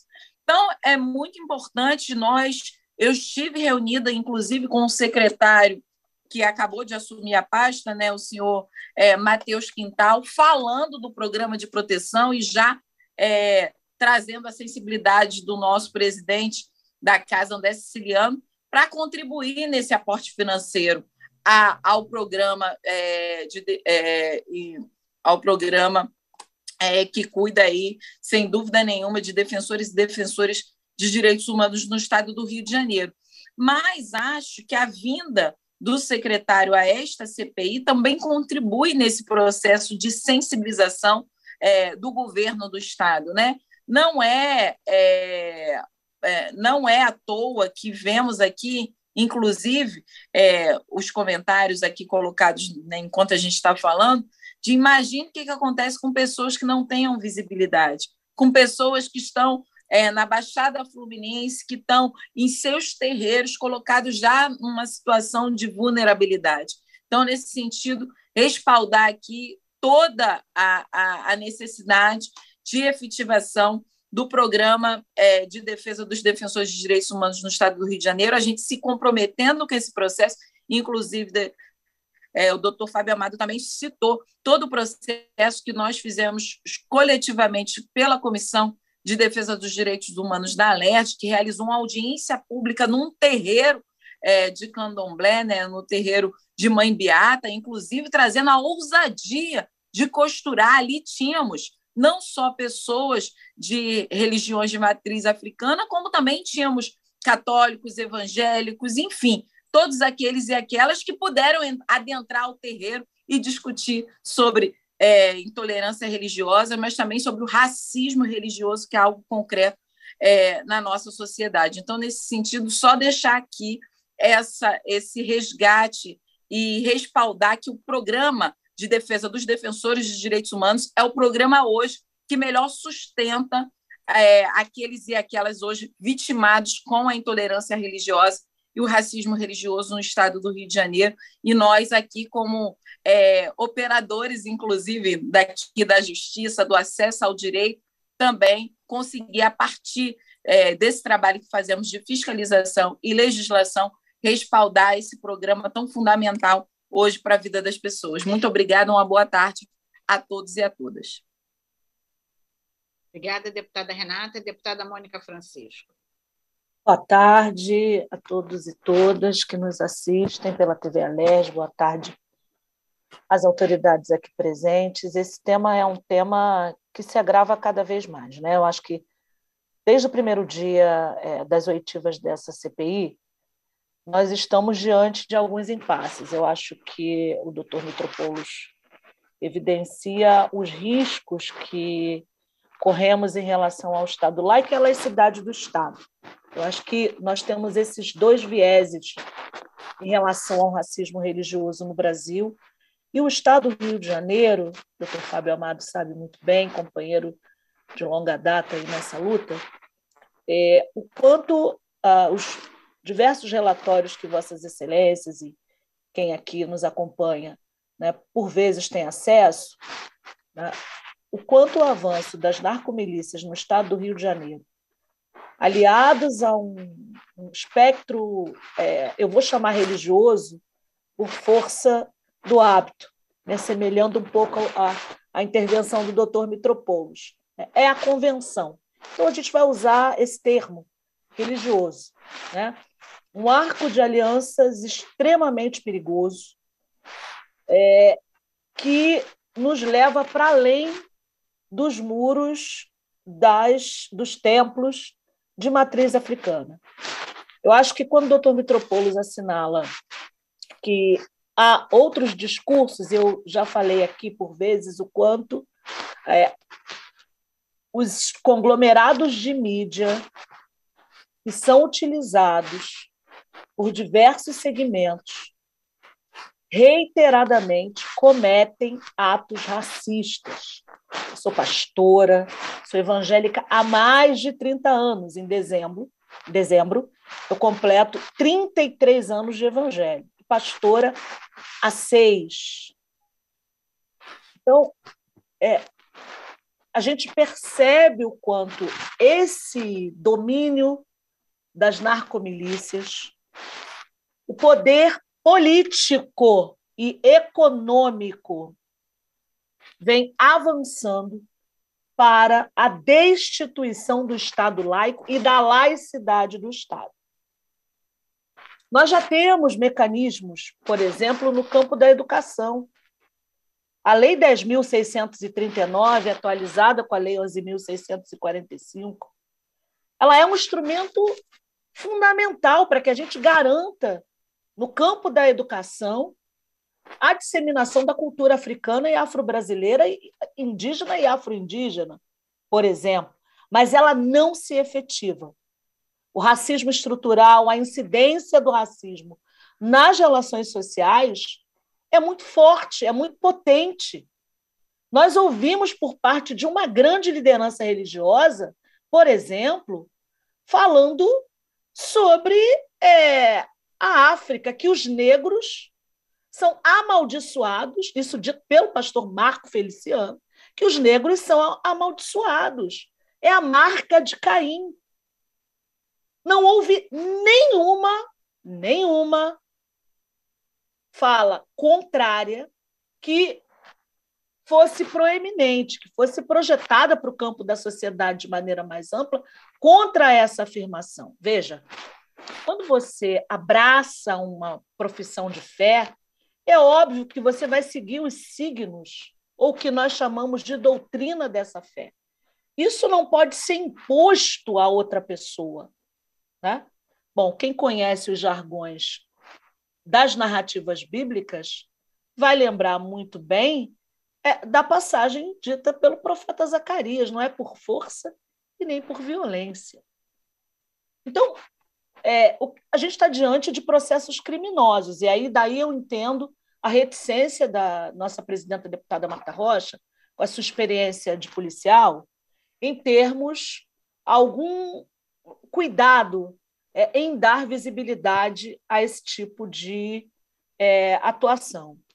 Nós tivemos, é, na nossa atuação legislativa, a felicidade de conseguir muito inspirados, e aqui todos os deputados que abraçam essa, essa luta, porque entendem que é fundamental que a gente defenda o Estado laico, até para garantia da possibilidade da nossa é, é, existência, da profissão das nossas é, fés e, e orientações religiosas de maneira tranquila, pacífica, que a gente coexista de maneira empática consolidar o dia 27 de março como o dia Joãozinho da Gomeia contra o racismo religioso.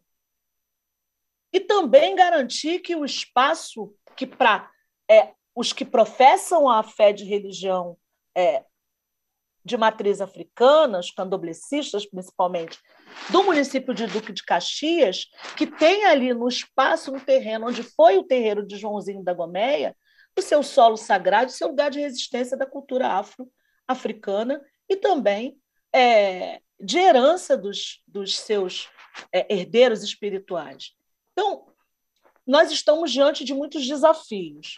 Acho que a gente precisa garantir que é, haja um diálogo também com os referidos veículos de profissão religiosa. Porque eu, eu não lembro de qual, infelizmente eu não lembro, já faz muito tempo. Eu vi e, e lembro que foi um, um programa evangélico, um pastor com um berço do lado, dizendo que a maldição do Brasil veio do berço africano. Isso reitera os processos de racismo, inclusive contra os refugiados africanos que nós temos no Brasil. Então, é, é, denominar o que acontece, racismo religioso, perseguição religiosa, xenofobia, atitudes criminosas de fato, porque nada disso encontra eco na, teologicamente na narrativa bíblica. Há uma distorção. Há problemas psíquicos em muitas pessoas? Sim, há problemas psíquicos. É real. Em, em diversas religiões, não só na evangélica. Mas grande, há, um, há questões psíquicas. Mas, na maioria das vezes, essas dinâmicas de narrativa são contaminadas por processos racistas, preconceituosos misóginos, sexistas e de grave consequência. Então, acho que essa CPI vem acumulando é, elementos importantes, tanto do campo teórico-metodológico, a partir do diálogo com as universidades, com quem está produzindo conhecimento e epistemologia, a partir da universidade, da observação, né, da empiria e da produção acadêmica, vem acumulando em relação aos depoimentos das oitivas feitas aqui e a atuação das instituições aqui presentes né, e aquelas que vêm sendo ouvidas, tanto no campo da segurança pública quanto no campo da defesa do direito é, é, do judiciário. Então, eu quero é, me deter aqui hoje nessa questão da de esforços, já finalizando a minha fala, deputada Marta Rocha, é, LERJ para que a gente faça um diálogo com o governo do Estado. A gente vem dissecando o orçamento do Estado. E a gente precisa que essa política seja efetivada no orçamento. Porque se não tem programa, se não tem ação, se não tiver orçamento.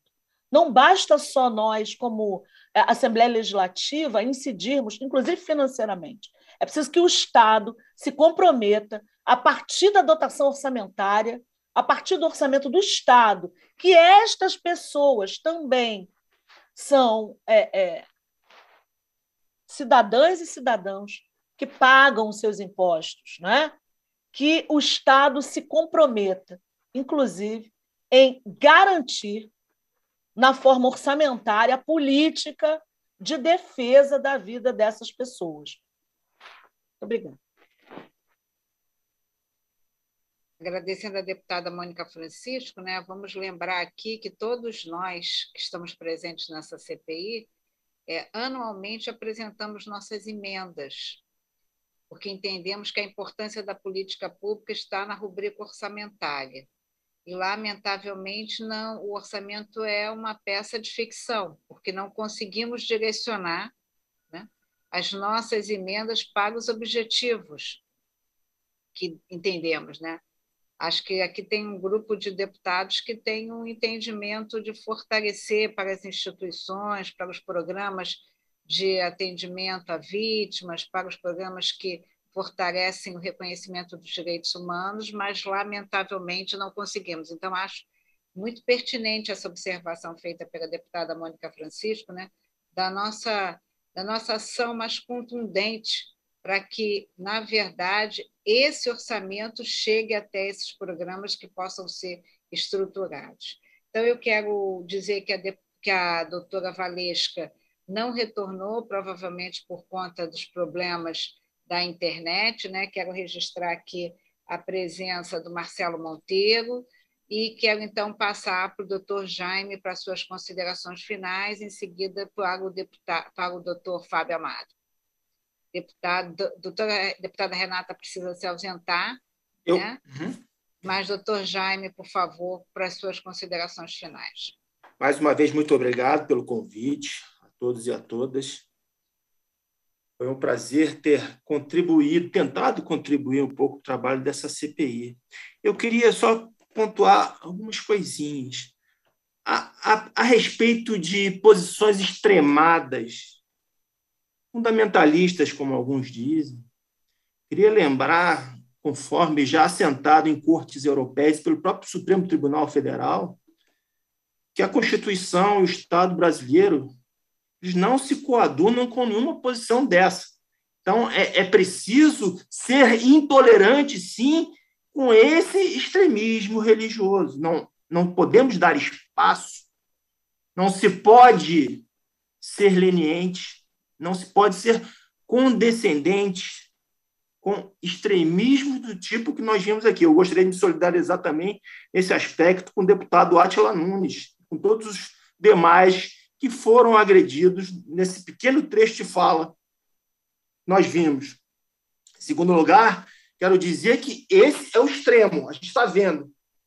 Em segundo, porém, existem muitos outros matizes que, conforme a deputada Mônica Francisco falou, trabalha na epistemologia, trabalha com a semiótica. Essa demonização atravessa os 500 anos de Brasil.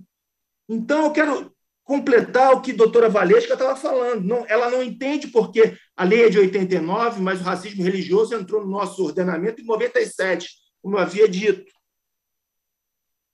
Existe uma grande subnotificação porque grande parte dessa comunidade não quer ser revitimada revitimizada, como alguns dizem, porque durante 500 anos eles criaram as suas próprias estratégias de defesa. Eu vou, eu vou citar um exemplo que está no relatório, eu convido a todas as vossas excelências, possam lê-lo. Eu acho que, eu, eu, depois de três anos, eu fui reler para participar dessa reunião e, e acho que sem modéstia, sem modéstia qualquer aqui, junto com o grupo de enfrentamento, fizemos um trabalho de fôlego que serviu justamente para para mostrar, inclusive para os operadores do direito, que eu, há 10 anos, eu venho militando na, na temática, as pessoas olhavam para mim, isso não existe no Brasil. Isso é um dos primeiros sintomas de que o racismo estrutural existe dentro das, das, das instituições. Isso não existe. E se não existe, e se existe, eu escutei. Isso não é problema do Ministério Público, tem coisas mais importantes para fazer. Falei, como assim? Dentro do guarda-chuva intolerância religiosa, que está tratado pela Declaração de Duro, temos discriminação, preconceito, temos terror religioso, temos tortura religiosa, temos de tudo aí. Como? Temos crime. Ou só vamos dar, o Estado brasileiro só vai a, abrir os olhos quando esses crimes e eles já acontecem sim. Eu queria pedir licença, é, tia Ju, que existem sim dois pesos e duas medidas, sim. Claro, existem crimes contra outras religiosidades, sim, contra o pastor Henrique, eu já fui chamado algumas vezes com ataques antissemitas, eu, eu acorri a Federação Israelita. Porém, eu quero lembrar, eu vou dar um exemplo primeiro. No relatório consta, é, se não me engano, pai Antônio de Oxalá, um caso de seropédica, me foi levado pela Coordenadoria de Defesa dos Direitos Humanos do, do Rio de Janeiro.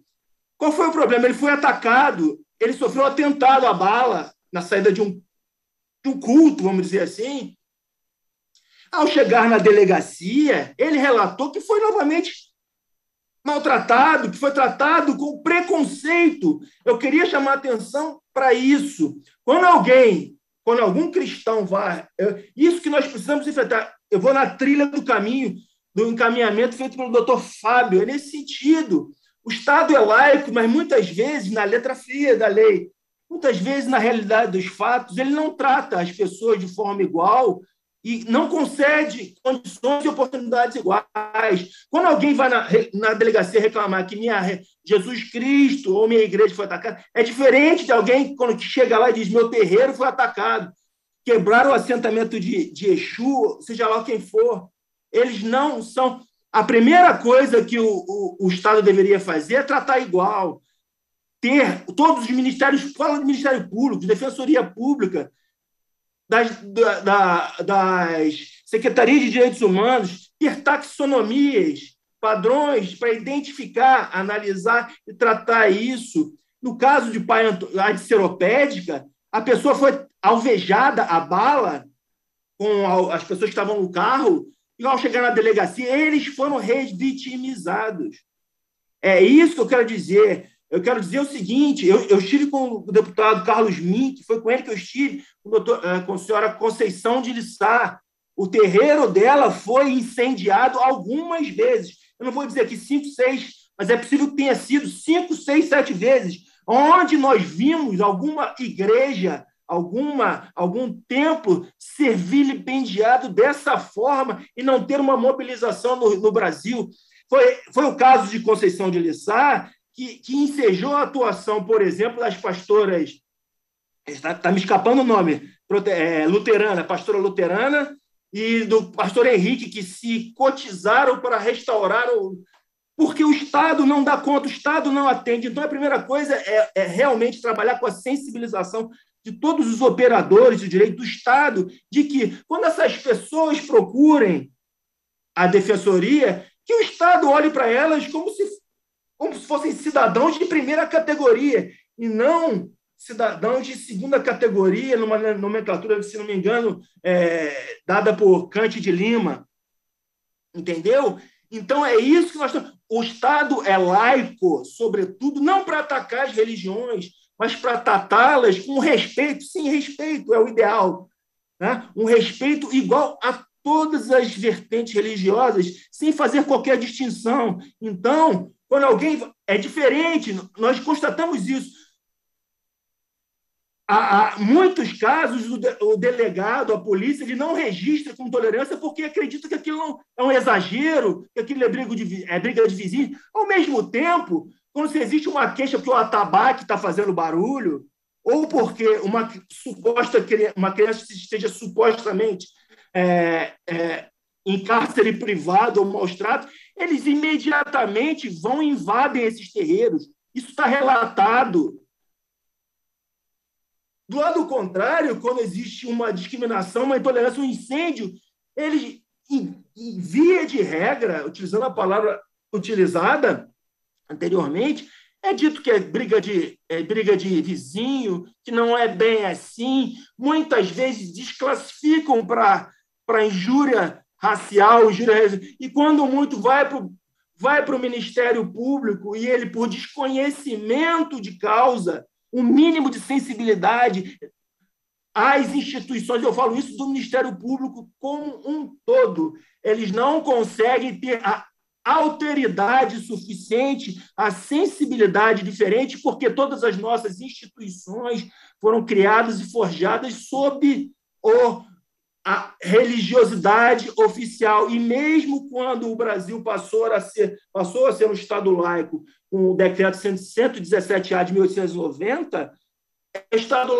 se tiver que tomar partido, vai tomar partido, porque nós vimos isso recentemente quando um, um, um ex-parlamentar e atual mandatário do governo falou claramente, isso está registrado também, fiz questão de registrar no relatório.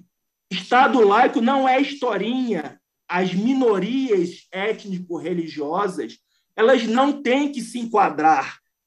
O pluralismo cultural, a diversidade religiosa é uma das bases de sustentação do regime democrático de direito. É isso que nossas instituições precisam lidar quando estão tratando com intolerância, racismo, preconceito, racismo religioso e muitas vezes terrorismo religioso.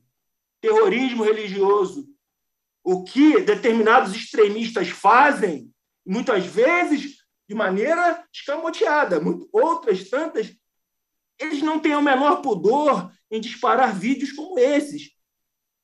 Se isso fosse feito na Europa, ou nos Jardins Paulistas, ou na Zona Sul do Rio de Janeiro, acontecer alguma coisa, a reação vai ser uma. Quando um, um, terreiro na Baixada Fluminense é incendiado mais cinco, seis, sete vezes, não existe reação proporcional por parte do Estado brasileiro.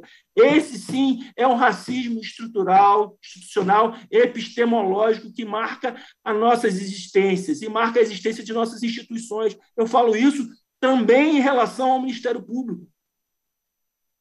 No mais, eram essas as minhas. É, explicando o porquê, a, a partir de uma provocação da doutora, e a quem quero dar parabéns pelo trabalho realizado. O parabéns começa pelo estranhamento dela. Por que, que essa lei, depois de 20 anos, ela não é aplicada? Por conta dessas situações. Existem estratégias de defesa, um racismo que atravessa a nossa história e que forjou nossas instituições. Precisamos mudar isso. E acredito que uma CPI séria como essa, com profissionais, com operadores do direito seríssimos, que estão sendo preparados, como o doutor Fábio, doutora Valquíria, doutor Júlio Saraiva, nosso colega do Ministério Público Federal, doutor Sérgio Suyama, é uma ponta de entrada para que o Estado possa, nos próximos anos, a tratar com igualdade. O Estado é laico para tratar a todos com respeito, com respeito, independentemente se ele acredita em Maomé, em Oxalá ou Jesus Cristo. Só isso que a gente precisa um pouco para construir realmente uma sociedade melhor, plural, solidária. Muito obrigado e desculpa mais uma vez por me estender nas palavras. Não. Presidenta, senhor relator e todos demais é, integrantes dessa casa legislativa. Muito obrigado, desculpa por, por ter me estendido. Não, doutor Jaime, foi muito importante ouvi-lo, sobretudo quando o senhor coloca aí né, o destaque da negação do racismo. Tão grave quanto o racismo é a negação do racismo, né, que contribui, sem dúvida nenhuma, para cada vez mais esses casos de perseguição religiosa. Doutor Fábio, para suas considerações finais, por favor. Início, renovo o agradecimento pelo honroso convite. Foi muito, muito interessante o debate e com esse encerramento, nessa fala da deputada Mônica Francisco, recordando a questão do racismo como pano de fundo central e o quanto o orçamento pode ser uma ferramenta fundamental para que a gente possa implementar essas políticas. Queria prestar minha solidariedade aqui ao deputado Atila Nunes, e a minha estimadíssima deputada Tia Joy já esclarecido que a fala foi do doutor Jaime, não minha, e queria é, pontuar o, o, absoluto respeito por todas as religiões e a minha admiração, é, deputada Tia Ju, pelas igrejas evangélicas, porque eu ando pelos cantos onde as pessoas são mais invisibilizadas, nos, nas ruas, nas sarjetas, nos presídios, nos locais de privação de liberdade, nos antigos manicômios. E eu vi o quanto é, aqueles que, que abraçaram essa profissão de fé modificaram substancialmente sua vida. Então, as igrejas evangélicas não têm só o meu respeito, não, têm minha profunda admiração e carinho. É, mas isso também se estende a todas as denominações para que a gente possa, e aí compreendendo a fala do Dr. Jaime, entender que há uma quantidade maior de violações voltadas às igrejas de matriz africana.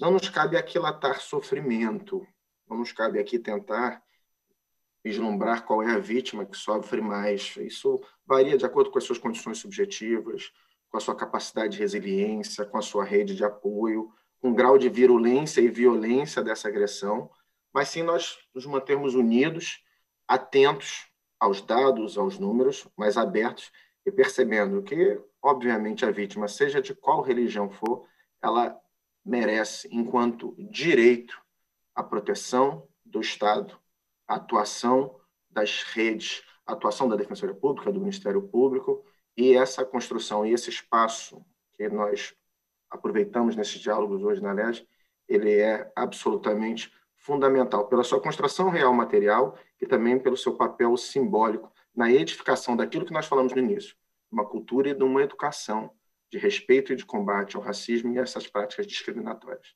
Muito obrigado pelo tempo, pela atenção. É, deputada Marta Rocha, pois não? agradecer e pedir desculpa ao doutor Jaime, que de fato, na hora que eu falei, eu citei o nome errado, mas eu entendo a posição do doutor Fábio, é, só pontuei, porque como tem muita gente assistindo, para não dar a, a, conotação, mas eu entendo, de fato, as, as regiões de matriz africana são as mais afetadas, mas os, todas as outras também sofrem. Inclusive, a gente tem é, registro das nossas, da, nossa, da minha denominação específica, ficou durante duas décadas para resolver o problema de uma igreja e tivemos que sair do local, porque não conseguimos fazer nem a justiça e nem a, a partir da delegacia das denúncias que eram feitas de apedrejamento e tudo mais, a fazê-los entender que a gente estava sofrendo perseguição religiosa. É só isso. Mas meu Mas respeito a ambos. Perdoa o esclarecimento, quem tinha falado não tinha sido eu, era isso. Quem tinha falado tinha sido o doutor Jaime. Aquela isso, primeira... isso. Eu peço desculpas aí a, a minha confusão, mas eu respeito a posição de ambos e sei e acompanho muito essa questão. As religiões de matriz africana são mais atacadas, mas nós também, evangélicos, e católicos, espíritos, também passamos por essa situação. Na hora do registro da queixa, é um parto, e no avanço da, da na, no âmbito da justiça, a gente também não consegue chegar em nada. A islamofobia também é algo a ser detectado também, que vem crescendo muito. Exatamente, mas eu concordo com a senhora e peço desculpas se eventualmente eu também me fui, não, não consegui me fazer compreender devidamente. Obrigado pelo espaço. Bom, agradecendo muitíssimo ao doutor Jaime Mitropoulos, ao doutor Fábio Amado de Souza Barreto, à doutora Valesca dos Santos Garcês, que estiveram conosco nessa manhã, agradecendo a todos que nos acompanham pela TV Alerj. Nada mais havendo a tratar, declaro encerrada a presente reunião e convido a todos para, na próxima terça-feira, estarem conosco, acompanhando na TV Alerj mais uma audiência da CPI da Intolerância Religiosa. Boa tarde a todas e todos.